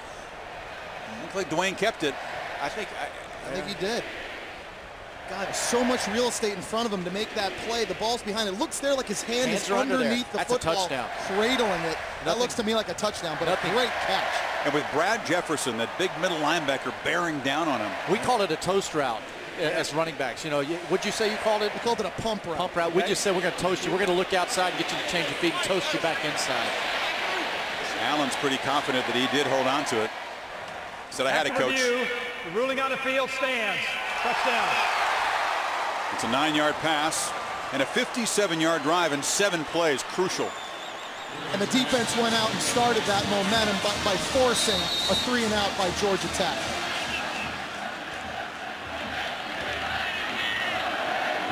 Richard Jackson tries to bring Clemson within 10 points.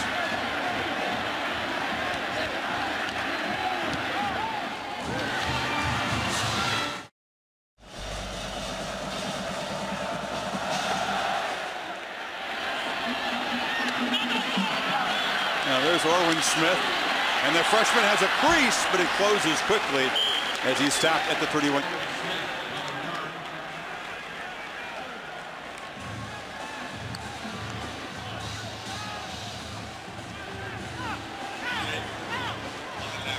So Tech gets it back to lead only 10 and Dwyer is stacked up. All of a sudden that Clemson defensive line fellow starting to make some plays. Well, the last four full possessions here for Georgia Tech's offense, four punts, 49 yards. They really got to get it going, Craig. And you're watching Clemson on the sidelines, on special teams, on kickoff, and on defense. They're starting to feel it a little bit now. They're jumping around, getting a lot of that life back in them.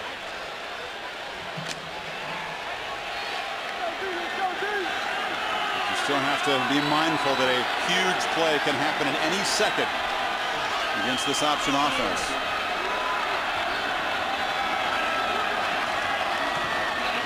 Nesbitt on the keeper, has a crease, shows his strength as a runner, muscles into Clemson territory. Two-yard gain, one-yard gain, 30-yard gain. It happens a lot.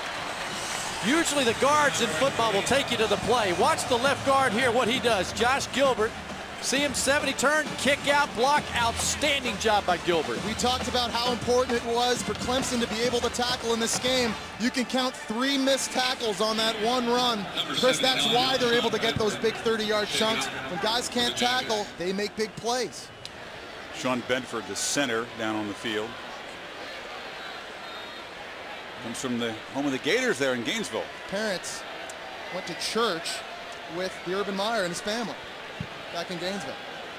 Aerospace engineering, not a typical major for that many football players in America, would you say? Weren't my teammates. Dan Voss is a senior. He's an experienced guy. They'll bring him in to replace Bedford. How about you, Jesse? How many aerospace, technical, whatever's did you play with? Not many. I wasn't one of them. Uh, I know that. you, you like, like this Philly cheese stick, Cherry Hill jerseys near Philly. And again, they don't see too many Northerners come down here to play football. So that's I wonder if they make a tempt him with. Philly cheesesteak in Atlanta. He may have eaten a couple. It was about 296.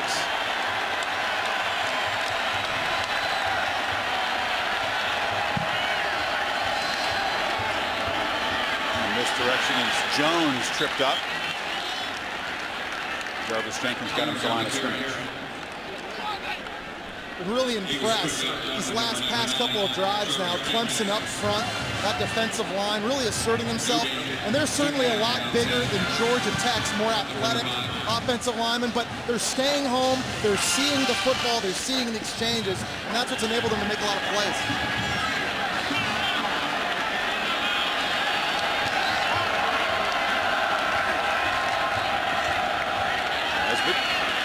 It on second and 10. Just about four. You, you- you talk about at, at the point of attack. You've got that defensive tackle and defensive end, that time Sapp and Thompson blowing up the dive back, forcing Nesbitt deeper. I mean, it- boom, disrupting the rhythm of the play. Roddy Jones trots back on on third and six.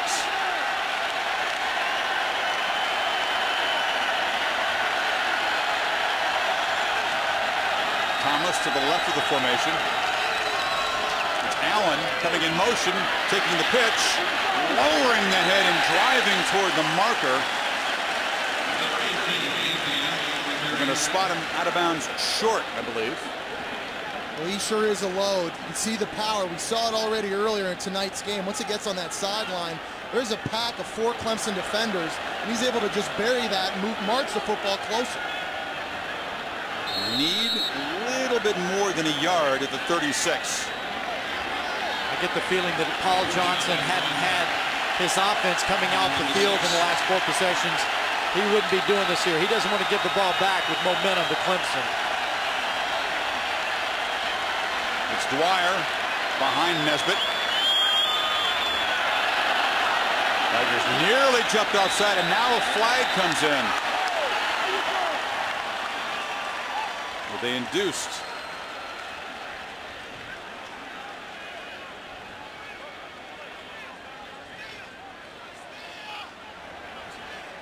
Delay the game against the offense. Five-yard penalty. Still fourth down. That flag came from the back judge. He couldn't have been able to see a line of scrimmage infraction, so the delay makes it fourth and six. Paul Johnson at Georgia Tech offense trying to freeze Clemson to use a late shift, a hard count to get the A-back coming in motion and try to create a false start and a jump on the defensive side of the ball, but give Clemson lots of credit, staying home, staying very poised. And now they're going to get the ball back again. Now they bring Anderson out. Pretty good at knocking those punts down inside the 20. Did it four times in the opening game. Boots it high. This time it bounces into the end zone.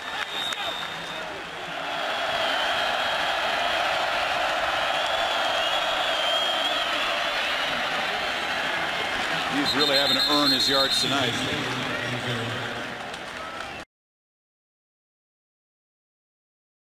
Still got about three. So what do you think about that game? Uh, it's hard to go against USC. I, I still think that Matt Barkley is poised as good as he looked against San Jose State in the Coliseum. It'll be a little different deal. I think USC running the football so well, 342 yards. I know it was against San Jose State, but they are deep at running back. They just bring fresh legs in. Yeah, if all he has to do is hand it off, Barkley will be fine. Parker fires left side.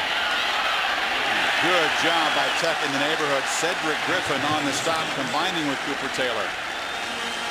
Yeah, I tell you what, this Georgia Tech defense getting to the football, their defense has played well tonight. They've had a, a few breakdowns, but man, how about the speed of the ball? Yeah, and Billy Napier, the offensive coordinator at Clemson, has stayed true to his word. He's been multiple.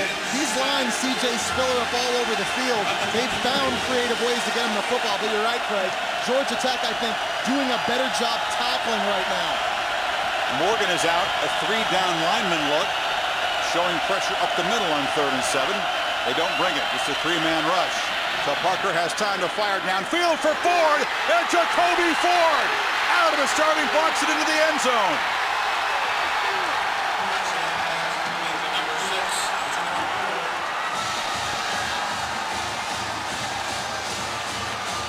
Seventy-seven yards the fastest man in college football. Well, Jacoby Ford knew where the ball was in the air. He was behind the defenders, and when you get behind the defenders, they're at the mercy of your eyes. You remember Jesse as a receiver sometimes? You're looking at the receiver's eyes. You don't know where the ball is. Well, the, the middle linebacker on that play is not supposed to allow the slot receiver to get behind him. Brad Jefferson at 237 pounds does not have a chance against the indoor 60-meter champion. The Clemson defense doing its part. And the quick strike ability of the Tigers and brought them back within three. Clemson was in an all-purple haze in the first quarter here, but now 21 straight, including the longest TD reception of Jacoby Ford's career, 77 yards. Third touchdown pass for Parker, and it's just a three-point game. Orwin Smith pushed back to the goal line. And that's the kind of kickoff coverage you're used to seeing from Clemson. Tech goes back to work. Dwyer frustrated. He had a hole, but he got tripped up. Erin? CF, even before Kyle Parker threw for that touchdown, Georgia Tech's Jonathan Dwyer was just barking at his offensive lineman, just coming over to them on the bench, getting in their faces, kind of telling them to wake up. I mean, we've sat with this guy over the past couple years, very mild-mannered player, very quiet. He just woke up, and he's been screaming at him ever since. One of those big guys up front, down on the field. Looks like Sean Bedford came out earlier. The center was replaced by Voss, comes back in the game, and now another look at him. Well, and it's critical right now for Georgia Tech to really establish a drive. 14 unanswered points right now from Clemson. All the momentum is on that Clemson sideline right now. Georgia Tech has to respond. Jonathan Dwyer, Jonathan Dwyer, if he's the leader of that team, he's got to be the guy to step up and get everyone riled up. He was close. If he'd have picked his feet up, he'd have gotten through there. And that's what's been lacking in this offense the last five possessions. They've not had Dwyer as the dive back between the tackles being successful. Dwyer has been held in check tonight very well. 11 carries, just 50 yards. A lot of times defensively, it's just how you react. You never know who's going to be the star in this Georgia Tech offense. Today, so far, it's been Anthony Allen because that's what the defense has given them. You get the sense coming into this game, Clemson was going to take Jonathan Dwyer away. Wouldn't you guys, though? I mean, I think we all three would say, let's take the dive back away. Let's let John make Josh Nesbitt, the quarterback, beat us on the ground. Yeah, his last eight carries, just 18 yards for Dwyer. Still got four yards on first down. Dan Voss, the backup, back in at center. Dive play again. Is that a correct read, Craig? There's not, there's not a lot there. Uh, you know what? They're really, it's, it's one of those deals where the defensive end was there. Yes, it was the right read. He had to give it because the defensive end was up the field. He had to give the ball to the dive back then.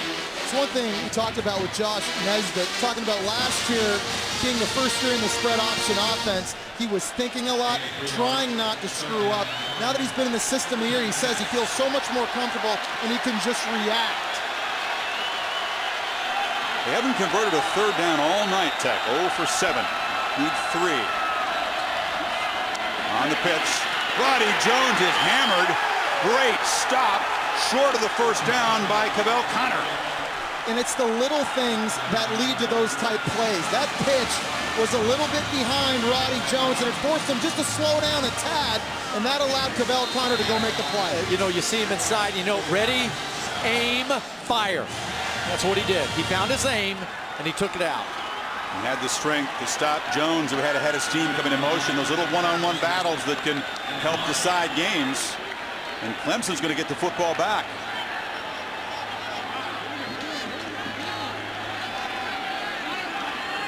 Haven't come close to blocking one, even though Chandler Anderson kind of takes a while to get it away. This is Ford. Shakes the first man. And Jacoby Ford around at about the 38-yard line. Let's check a flag here. It's back in Tech territory.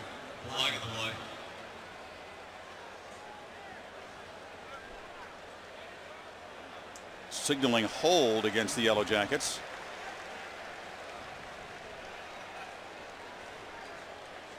see if Clemson makes him kick it again. I would. If I had Jacoby Ford and C.J. Spiller back there, I'd make you kick it every time. Ordinarily, you'd say no. Let's just take the ball near 40-yard line, but looks like Ford being looked at by the trainers.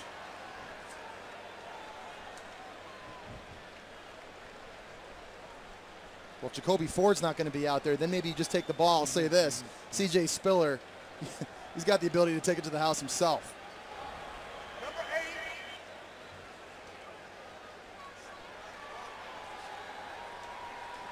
In any case, last six possessions for Tech, all punts. Holding against the receiving team, number eight. That's 10 yards to the previous spot. The yardage will be enough for a first down. Oh, boy. Wow, wow. So holding before the ball was kicked. That is a huge miscue by Clemson. There was some confusion. I think Paul Johnson thought it was on his team. Now Swinney is just shocked. Called it on Jamie Cumbie. He's still not satisfied with the explanation. I,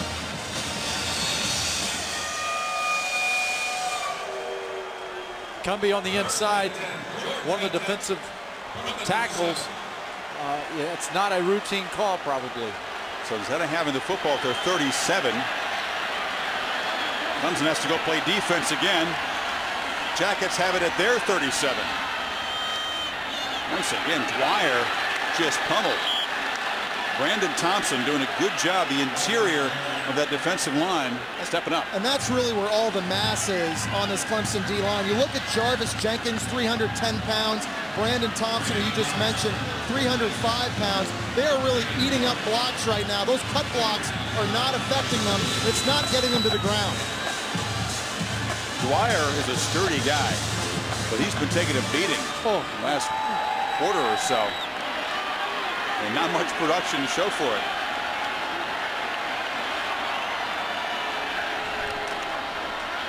Nesbitt pressured. Throws it downfield.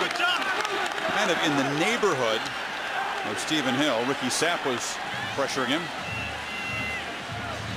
Nesbitt struggled. He just one for nine passing.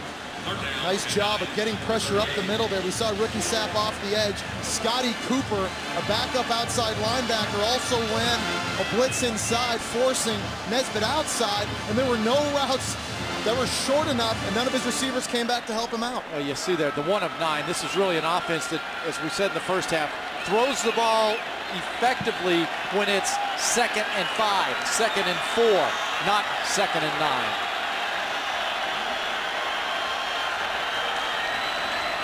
on third and nine.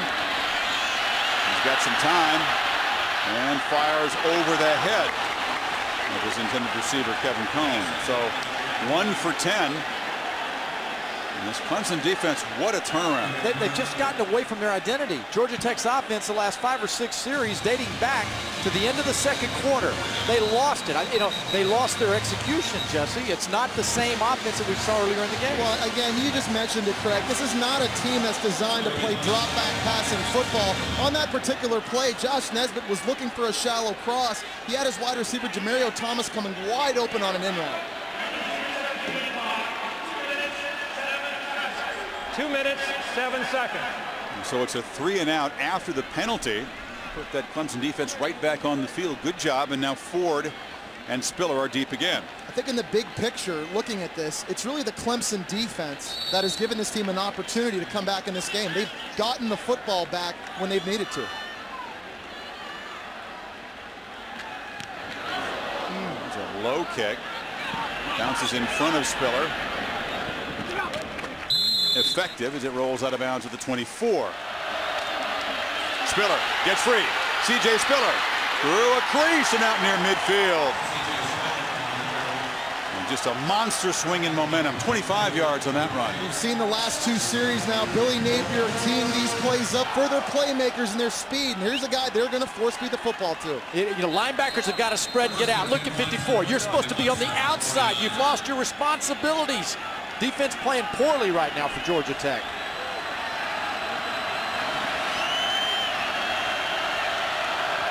There's old big Rendrick Taylor, the 265-pounder. He's in the backfield. Spiller takes it the other way, but can't escape the tackle. That's a that's a great tackle by Jason Peters, but I'll say it this. They've run that power play now a couple times, and that cutback has been there all day for C.J. Spiller. If they're not quicker, he's going to break that and really hurt them. There's a lot of field to run with. Left tackle Chris Hairston, left guard Thomas Austin really doing a good job back there. Parker has a man wide open. Marquan Jones inside the 10, and now it's Clemson's turn to fool the other guys. You got to be on your game tonight defensively, looking at the players from sideline to sideline. Quick snap there, got everybody. Georgia Tech just asleep at the wheel on defense. We, we, said that Clemson was going to be very multiple. They were going to substitute a lot of guys on the field, and Georgia Tech here, Craig, just goes to sleep. Spiller cuts it back. Gets a block. shoved out by Tarrant, the eight. Craig, you'd really appreciate this. Playing running back yourself, C.J. Spiller does a great job with his eyes. He's always looking for that cutback. You know what he does, Jesse? When he sees a, a, a crease, he goes. He knows his speed is going to run by a defender. A lot of runners will look a little longer and then decide to go. He knows they can't touch him. He just goes. 82 yards rushing now. Also cut the touchdown pass, four receptions. Final 30 seconds of the third quarter. A workhorse cuts it back, lowers the head, and leans near the marker. It'll be third and short. There's been a lot of pressure coming off the edge for Georgia Tech in this football game. And what does Clemson do down in the red zone? They fake a reverse outside to slow down those defensive ends to allow C.J. Spiller more room to operate inside. So what a dramatic turnaround in this third quarter. Clemson draws within three and now threatens to take the lead. First play of the fourth quarter, a crucial third and one for Clemson. Spiller. Brought for a loss by Ben Anderson.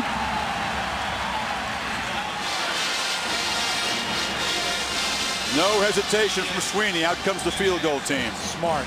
Get the points, tie the football game, keep the momentum on your side, getting points. Boy, oh boy, was that a big stop for Georgia Tech. After getting repeatedly gashed on the last three series now, they make a big stop to at least keep this thing and, and the damage at a minimum. Derrick Morgan had the big night, but Ben Anderson, the tackle, steps up, makes a huge play. And here's Richard Jackson from 21 yards. So Clemson has to settle for three. And disappointment, but 24 unanswered. Brings us dead even early fourth in Atlanta.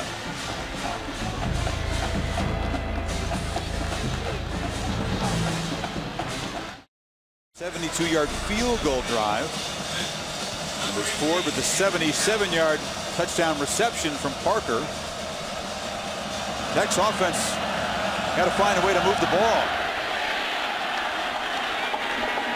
The very deep kickoff. And the freshman Smith weaves his way out to the 20. It's been nothing but dive plays lately. A first down throw for Nesbitt, who has just one completion all night. He forces it downfield in the coverage, and it's intercepted by McDaniel.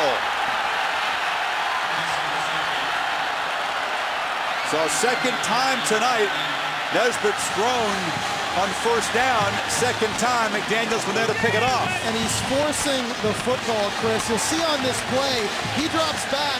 He wants to throw it sooner and pump fakes. And all he does by doing that is send DeAndre McDaniel on a beeline over to cover Anthony Allen. And, and you know what? Stephen Hill, the freshman number five, has got to drive hard to the middle of the field to occupy the free safety so that they continue to have one-on-one -on, -one on the outside.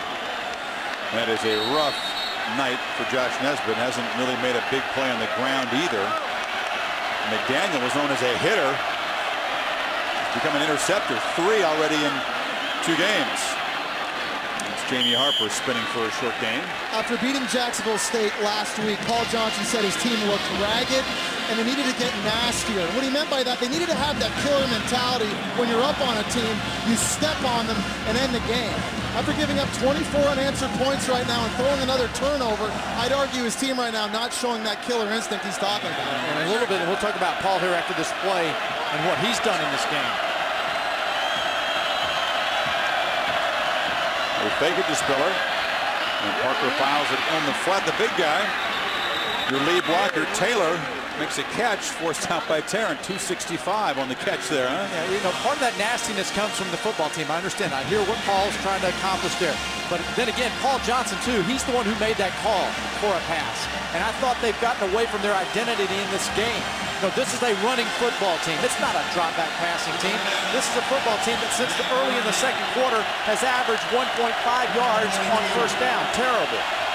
They had seven straight possessions, Craig, with a punt. So maybe a little bit of departure of the comfort zone for Coach Johnson. Parker fires over the middle, caught by Jacoby Ford, and he dives to the 36. So Parker, after a rough start, on target. How good does Kyle Parker look? Very poised. He doesn't get those happy feet that a lot of freshman quarterbacks would. He's going to work his little receiver, to Jacoby Ford, on the backside on the in route and just delivers a very nice catchable ball. You can see the natural throwing ability of Kyle Parker. Coaches like hyperbole, Jesse, but Swinney said there aren't 10 quarterbacks in the NFL who've got a more lively arm than Parker. You buy that? Yeah, I do. He looks good. Spiller trying to bounce it, and he's stacked up. Rece Davis has SportsCenter right now. Rece?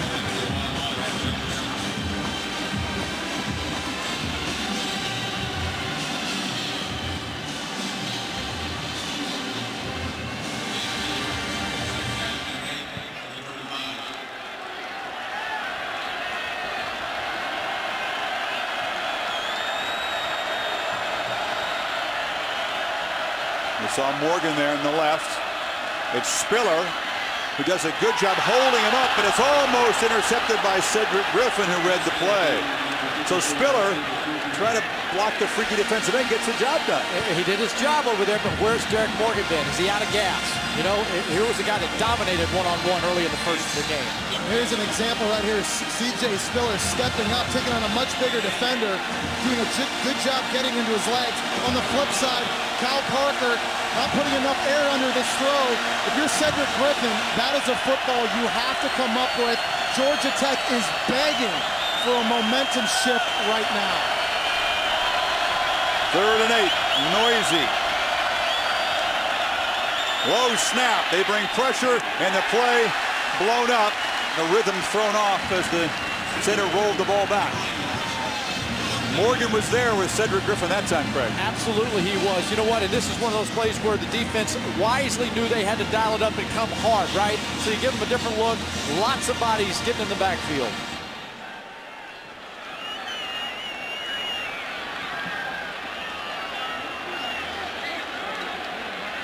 Not going to line up for a field goal here and pooch punt it again, are they? I mean, here's Richard Jackson. He's line, looks like a 53-yard attempt. Tearing his back deep again, just in case. And a low driving kick. Good.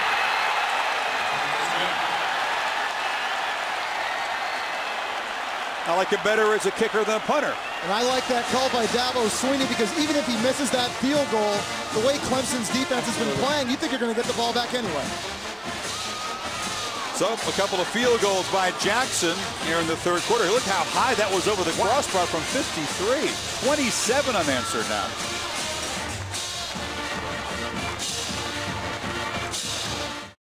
Here's a guy that's gone through a lot. He was getting down on himself on and off the field, let his grades spiral, wasn't eligible academically to make the Gator Bowl trip last season, thought about quitting football. But his grandfather set him down this spring. Some sage words of wisdom, told him to stick with it. His teammates are glad he did.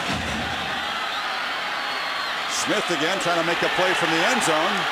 Doesn't go down, and now he's wrestled at the 14 offense designed to take advantage of block downs, kickouts. They've not been able to do that because the defensive ends at Clemson have been really controlling the outside, keeping the game on the middle. Frustrating night for Dwyer. This is Nesbitt. Again, nothing. Brandon Thompson on the stop. Classic example. Jesse, just see it? Watch Ricky Sapp, number seven, did exactly what I'm talking about. Here he is.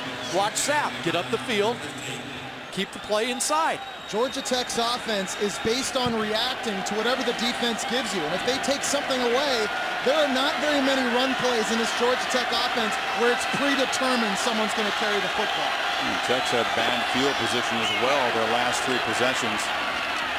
Yeah, late handoff to Dwyer. It wasn't the cleanest exchange from Nesbitt, but Rennie Moore takes a turn at defensive tackle, makes the stop. Georgia Tech's inability to produce yardage, specifically on first down, has really put them behind the eight ball. Craig, you had mentioned it earlier. It's not an offense built to deal with third and nine, third and eight. They are not a drop back passing team. It's not what they do. Not converted a single third down tonight. 0 for 9. And they need 9 right now.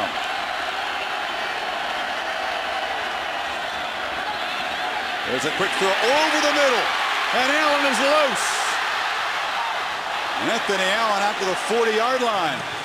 So a little quick pass. Easier throw for Nesbitt. Picks up 24. And, and, Jesse, don't you like this as a quarterback when you know that it's right in front of you? You see him up here, right here. Watch how he just kind of leaks out and right in the middle of your vision. And Anthony Allen is a guy that coaches and players have said has the best hands on the football team. So he's a guy that they want to get involved.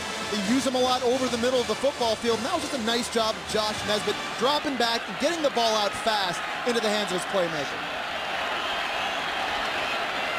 Much needed first down, and now Nesbitt is loose across midfield.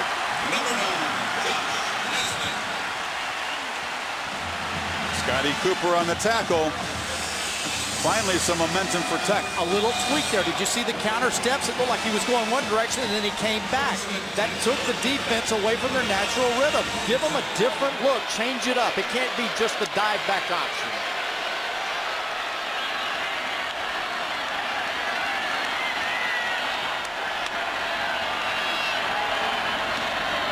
Nesbitt behind Cox. Gets a block. Rips off another big game. If it works once, why not run it again? This is the exact same play they dial up the other way now. This is just going to be a quarterback lead right in the middle of the field inside that tackle box. Josh Nesbitt doing a good job getting north-south. Okay, so Clemson says you're going to stay inside. That's what they've done. Georgia Tech said, okay, fine. I'm going to lead block with my fullback up in there. We'll stay inside. We'll block it that way. Back-to-back 14-yard runs by the quarterback. Keeps it again, and this time they're all over him. Not three times in a row. Fool me once. Shame on you. Fool me twice, shame on me. They were going to let that happen a third time in a row. But you know, okay, now didn't you guys feel in the rhythm of the game the way it was going right there? Run, run, run, boom, where's the pass? Right? That's staying, that's when you're at their advantage, the, the disadvantage to the defense because they're up there trying to smother that running game. You calling for a pass right here? I, I the rough night that Nesbitt's on? I'd have liked it on first down right there. Well, the two picks have come on first down.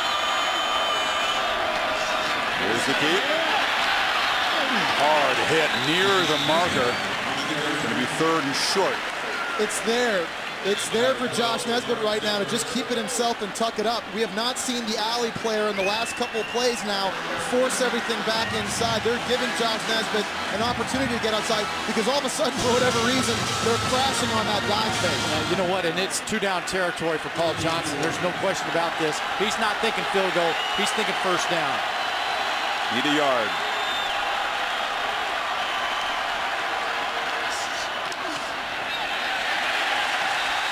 Five straight runs for Nesbitt, a first down to the 20. And, and, and, you know, again, until they stop that, Paul Johnson is going to keep dialing it up. It's the quarterback lead. It's just, it's like giving the ball to your tailback.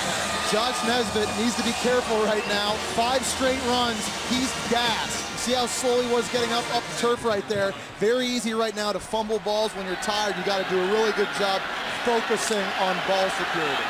And right now is what all that summer conditioning is about, isn't it?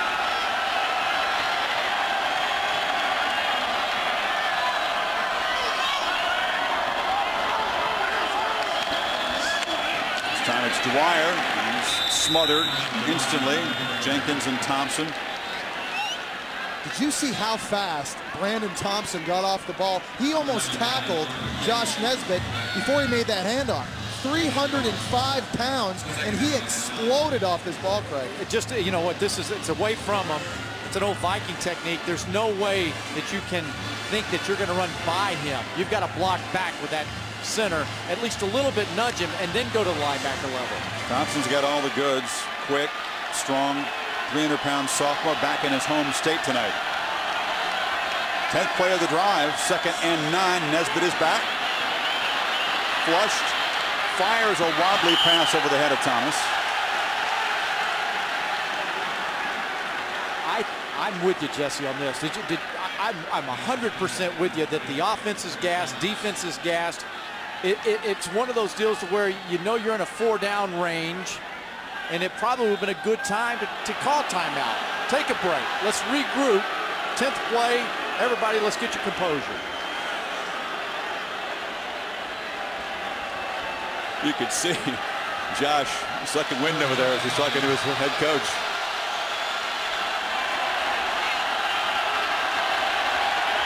Four in the play clock. Gotta hurry. Just get it off. Keeper. Tired legs can't get the corner. Cooper dropped him. You can see it. You can just see it. It's not as explosive when he finishes that ride with, with the running back. He's not able to really punch it outside and explode off his legs. Looking at Josh Nesbitt right now jogging off the field. He is exhausted. On comes Scott Blair. Again, if you missed it earlier, had that touchdown pass on the fake field goal. This is from 34 yards to tie of the game.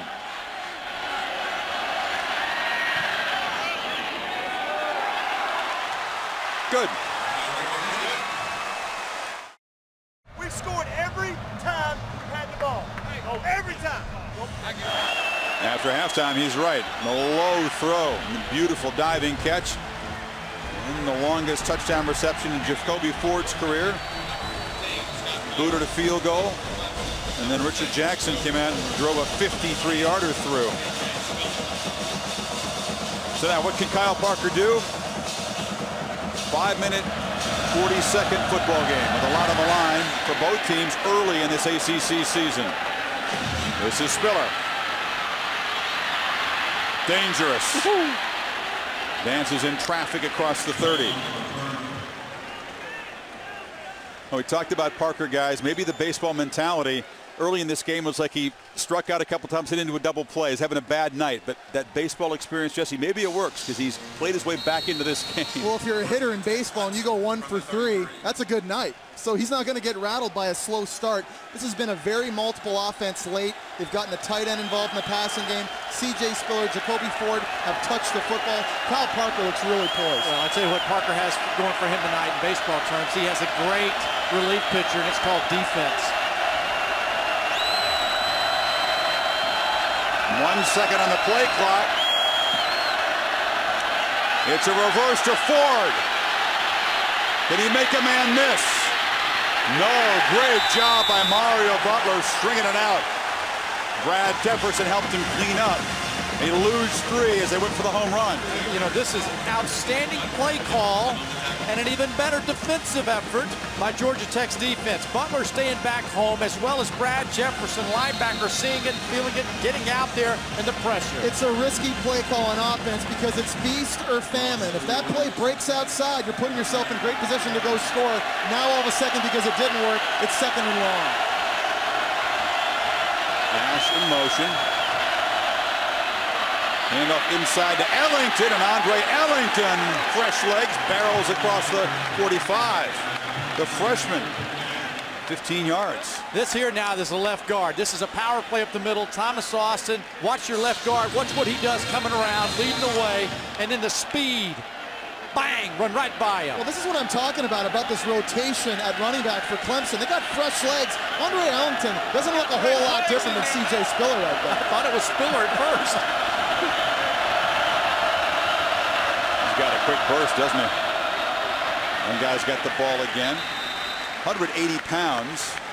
Hey, while Clemson's offense may look fresh, let me tell you that Georgia Tech defense needed every single second of that five-minute, 53-second scoring drive by their offense. Uh, I looked at that defense when they came over to the sidelines, and Derrick Morgan, guys, could barely stand up. He was exhausted. I got to tell you, they loved every second of that break there. You know what? Yeah, you could see Derrick Morgan in the previous series, you know, being handled by one running back. That wouldn't have happened in the first half. It is a short week again. They did play on Saturday. Fumble and exchange. Ball on the ground, and Clemson gets it back. Parker fortunate not to lose it.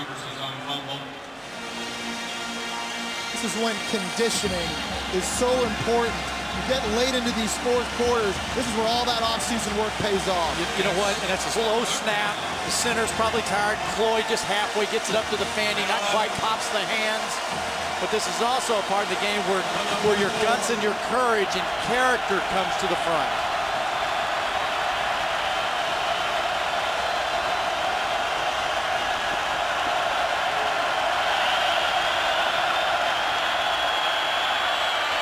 Good protection, has four downfield. He beat Tarrant. And a beautiful throw. Georgia Tech tried to put the pressure in the middle of the field, but pushed a lot of single coverage on the outside, and they risked, and it didn't work. But a holding penalty. He's bringing it back, Craig. Woo, wow. Huge, huge break for Georgia Tech. 38-yard play nullified. You know, I think I think if you're looking at that and you say Jerrard Tarrant versus Jacoby Ford, I think if you're Georgia Tech, you like that matchup. Jerrard Tarrant is an unbelievable athlete that can run with him. But we'll go back and watch it right here. You'll see 65, Thomas Austin, who's considered the best offensive lineman at Clemson, just breaking down. Maybe the fatigue setting in a little bit. Is stopped moving his feet, got a little bit lazy. Did you? That was. I Yeah, he don't turned. Ben Anderson and threw him down. I don't know. Clemson coaches, when they check the tape, probably won't like that call. And it was enormous. Third and 21.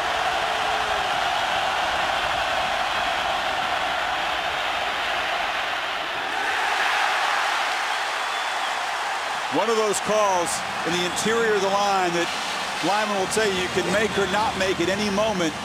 And it was a monster call. Instead of being set up inside the Tech 30, Clemson has to punt it away.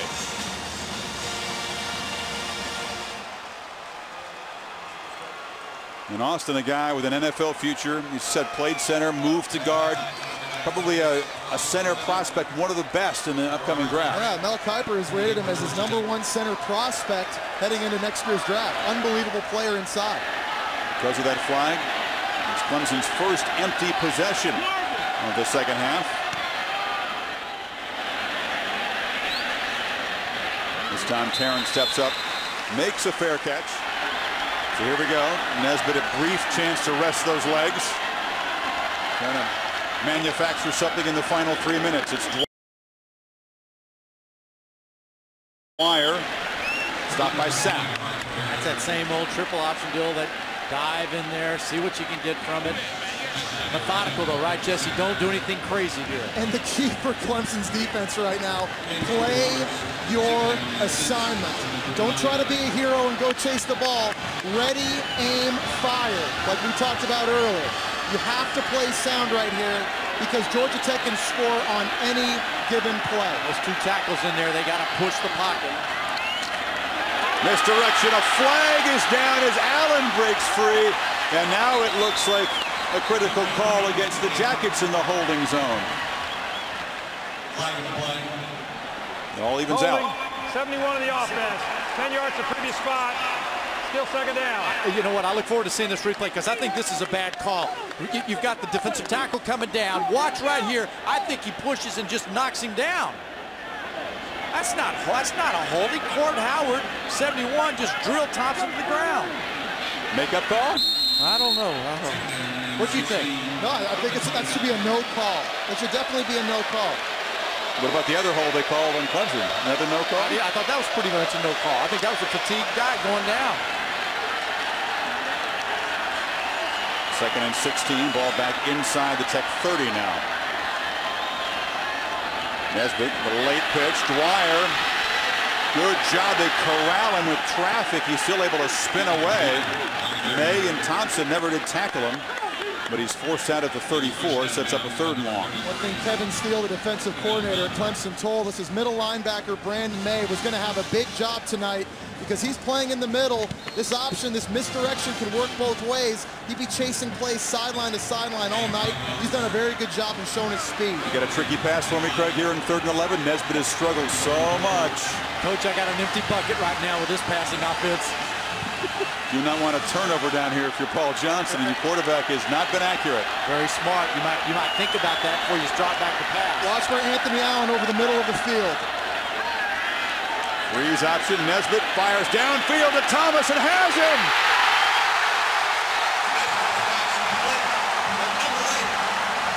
It's a sequel.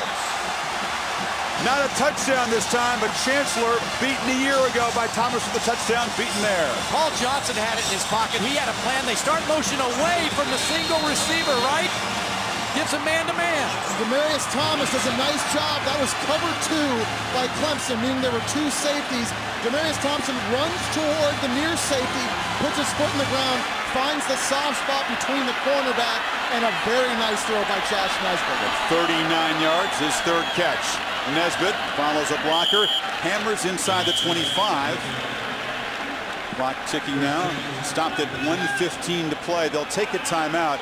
Remember, field goal kicker Scott Blair has never made a field goal in his career longer than 40. Right now would be right about a 41-yarder. So to feel comfortable, Johnson needs to get more real estate. And he needs to start working the football into the middle of the field. He has to start play calling these run plays designed to set the football up in the middle of the field to give his field goal kicker the best opportunity. Play I like to get it back to the middle of the field. The slot back on the left side to the wide side of the field where he leads into the inside. It's the quarterback like a, a, a quarterback draw back up into the inside of the field. I like that. It's worked several times. Ball security right now at a premium if you're Georgia Tech. After going 0 for 9 on third down, guys, they've converted three big third downs. A little misdirection. Dwyer didn't fool Clemson. They keep it on the right hash, and he picks up just a couple. Okay, so so what that's saying there is the kicker feels better from the right hash. Paul Johnson knows his kicker. That's where he wants to be. He's going to stay over there. And how about Clemson playing the chess match right now? They're calling timeouts, anticipating a chance to get the football back, giving themselves an opportunity to get back on the scoreboard. Chris, you know how, how important this game is for Georgia Tech. Here's a football team that came out of the gate, 21 points in the first quarter. And if they were to go on and lose this game after that early start, fast start like they had, Clemson was run out of the park. Man, that could be a real decleater for a long time. Georgia Tech is getting ready to play a very stretch, uh, tough stretch of football games. They'll travel to Miami. UNC will come home at Mississippi State, at Florida State before getting Virginia Tech at home. That's a tough stretch. They have to start it off strong by getting a big win here tonight. Got to go back more than two decades in Tech football history to find a game they've lost after leading by 24 points, Craig. So you're right. So much at stake. Conference game. And I think they need to get a little bit closer to make everybody in the Tech side feel comfortable about Scott Blair's field goal chances. Third and five. Nesbitt dives short of the first down. Brandon Maye stopped him. Clock stopped at a minute one as Clemson again spends a timeout. Well, if you're the 15th ranked team in the country, you're supposed to have a kicker that can make a 35 yard field goal. He's very good under 40. Only missed Yeah. one in his career, you know, inside 40. But they've got him into the comfort zone now. Well, it's, you know, it's really interesting to me here setting this thing up on the right hash. Obviously, knowing his kicker well, you'd think a lot of kickers would rather kick it right from the middle of the football field. There's no wind right now at all. You look at these goalposts and the flags, there is no wind at all, nothing to move this football in the air. If you're a right-footed kicker, I guess it's natural to draw the football right to left. Maybe that's why you like it on the right half. Scott Blair is a junior. Again, threw a touchdown pass on a fake field goal earlier. Knocked a couple through the uprights. Very reliable from this distance. I like the clock management by Dabo Swinney and Clemson because they've given themselves a chance. And with their return team and Spiller and Ford back there, they have a great chance to get excellent field position after the kick, if he makes it. And there's fourth and one, and the offense is on the field. Nesbitt under center, not the kicker. Trying to draw him five yards closer.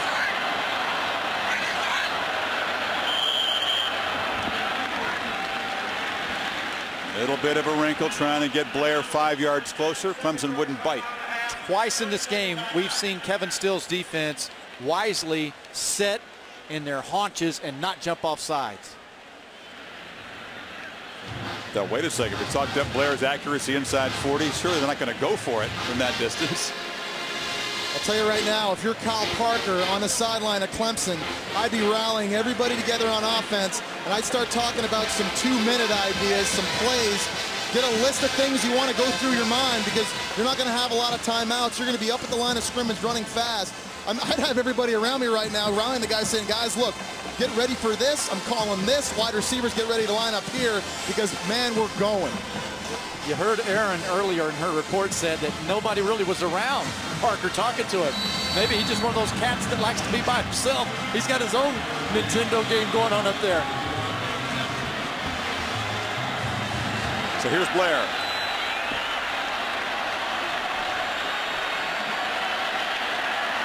Good marksman from inside 40 yards. This from 36.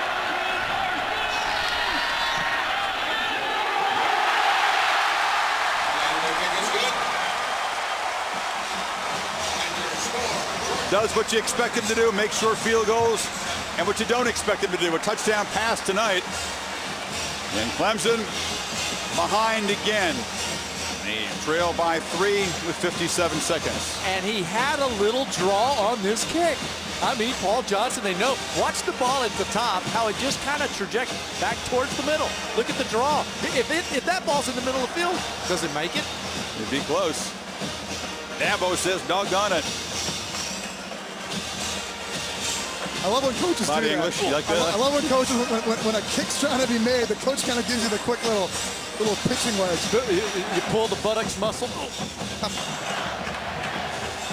Always seems to come down to this when these two teams get together. A late defensive stand or a touchdown pass to win it. How about the Georgia Tech offense the last couple series now? They were stalling early. They put together a 12-play drive to kick a field goal on their last series. This last series, they go seven plays to get another three points. This guy here, Craig, second college game, redshirt freshman, first road game national TV, conference game, all that stuff. All plays into it. Now the question is, what does Georgia Tech do to keep the ball away from Parker or put it deep? Do you squib one down there and take the chance that it's at the 30 or 35? If you kick it deep and you get it in the hands of Spiller, you got a chance the guy goes back to midfield at least. What you don't do is what they did on the opening kick of the game. You do not kick this out of bounds and give Clemson the football on their 40. Easy game, isn't it? Blair, one more important play to make in this game, the kickoff.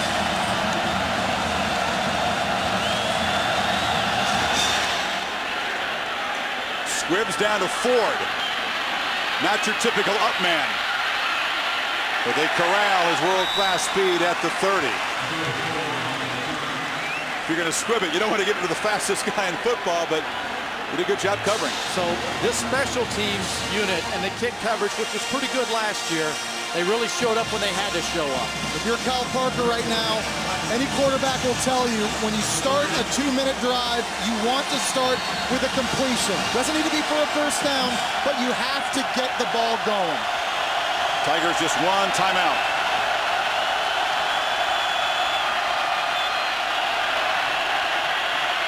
Ford is well covered and he'll throw it away. He's going to tell you, Dave Wommack on his side, Craig, you got to keep an eye on number six, don't you? You see where he went, Chris? He went to the middle of the field. He was on the left slot, inside slot. He went to the middle, and that's who Parker was hollering at, Jesse. He's trying to get him to turn and go deep.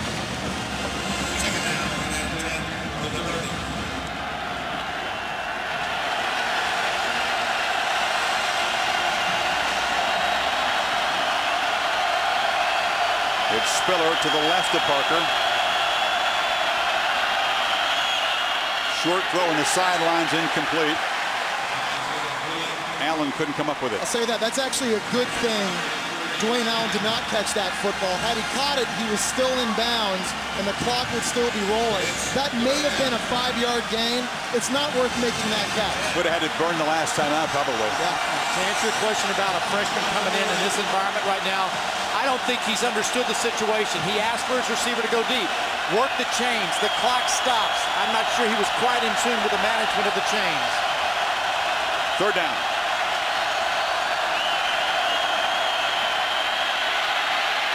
Hit as he throws, gets it deep, Spiller in a one-on-one -on -one battle. Tarrant broke it up. Egbuniwe got to Parker just as he tried to release the ball. What a battle downfield between speedsters. Between probably the two best athletes on the field. And here's Kyle Parker stepping up, doing a nice job. Wow, he pays for that after the throw. And this is just who wants the football more. Jerrard Tarrant, though, doing a nice job out-competing C.J. Spiller for the football. Fourth down. Clemson's offense on the field. You see the umbrella that they've got there. They're going to try to keep it in front of them and force the five-yard toss.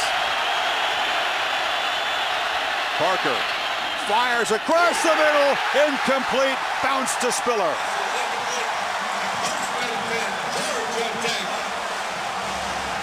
And Tech's going to hang on. Great effort by Clemson to fight back. Got even. But Tech, a clutch drive when they needed it, and a big defensive stand. This time, Clemson double teams Derrick Morgan coming off the edge. That allowed Kyle Parker to get outside. He did a nice job buying time. He had a wide open target downfield, and C.J. Spiller just not able to complete the throw. Spiller kept under wraps as a runner. 87 yards. Any Clemson opponent will take that anytime. Victory formation for the Jackets. This was a game, Chris, where we mentioned it just a moment ago. Georgia Tech had a whole lot to lose had they blown that massive lead. I will say this, Dabo Swinney, who I thought was out-coached in the first half, brought his groups back. They showed heart, character, and courage to get back in this game. This is the most competitive series in the ACC. We talk a lot about parity. This is now the 11th time in the last 14 games that a, an outcome has been decided by less than five points. But for the fifth time in the last six years, it is Georgia Tech on the winning side in this backyard rivalry, off on the good foot in the ACC.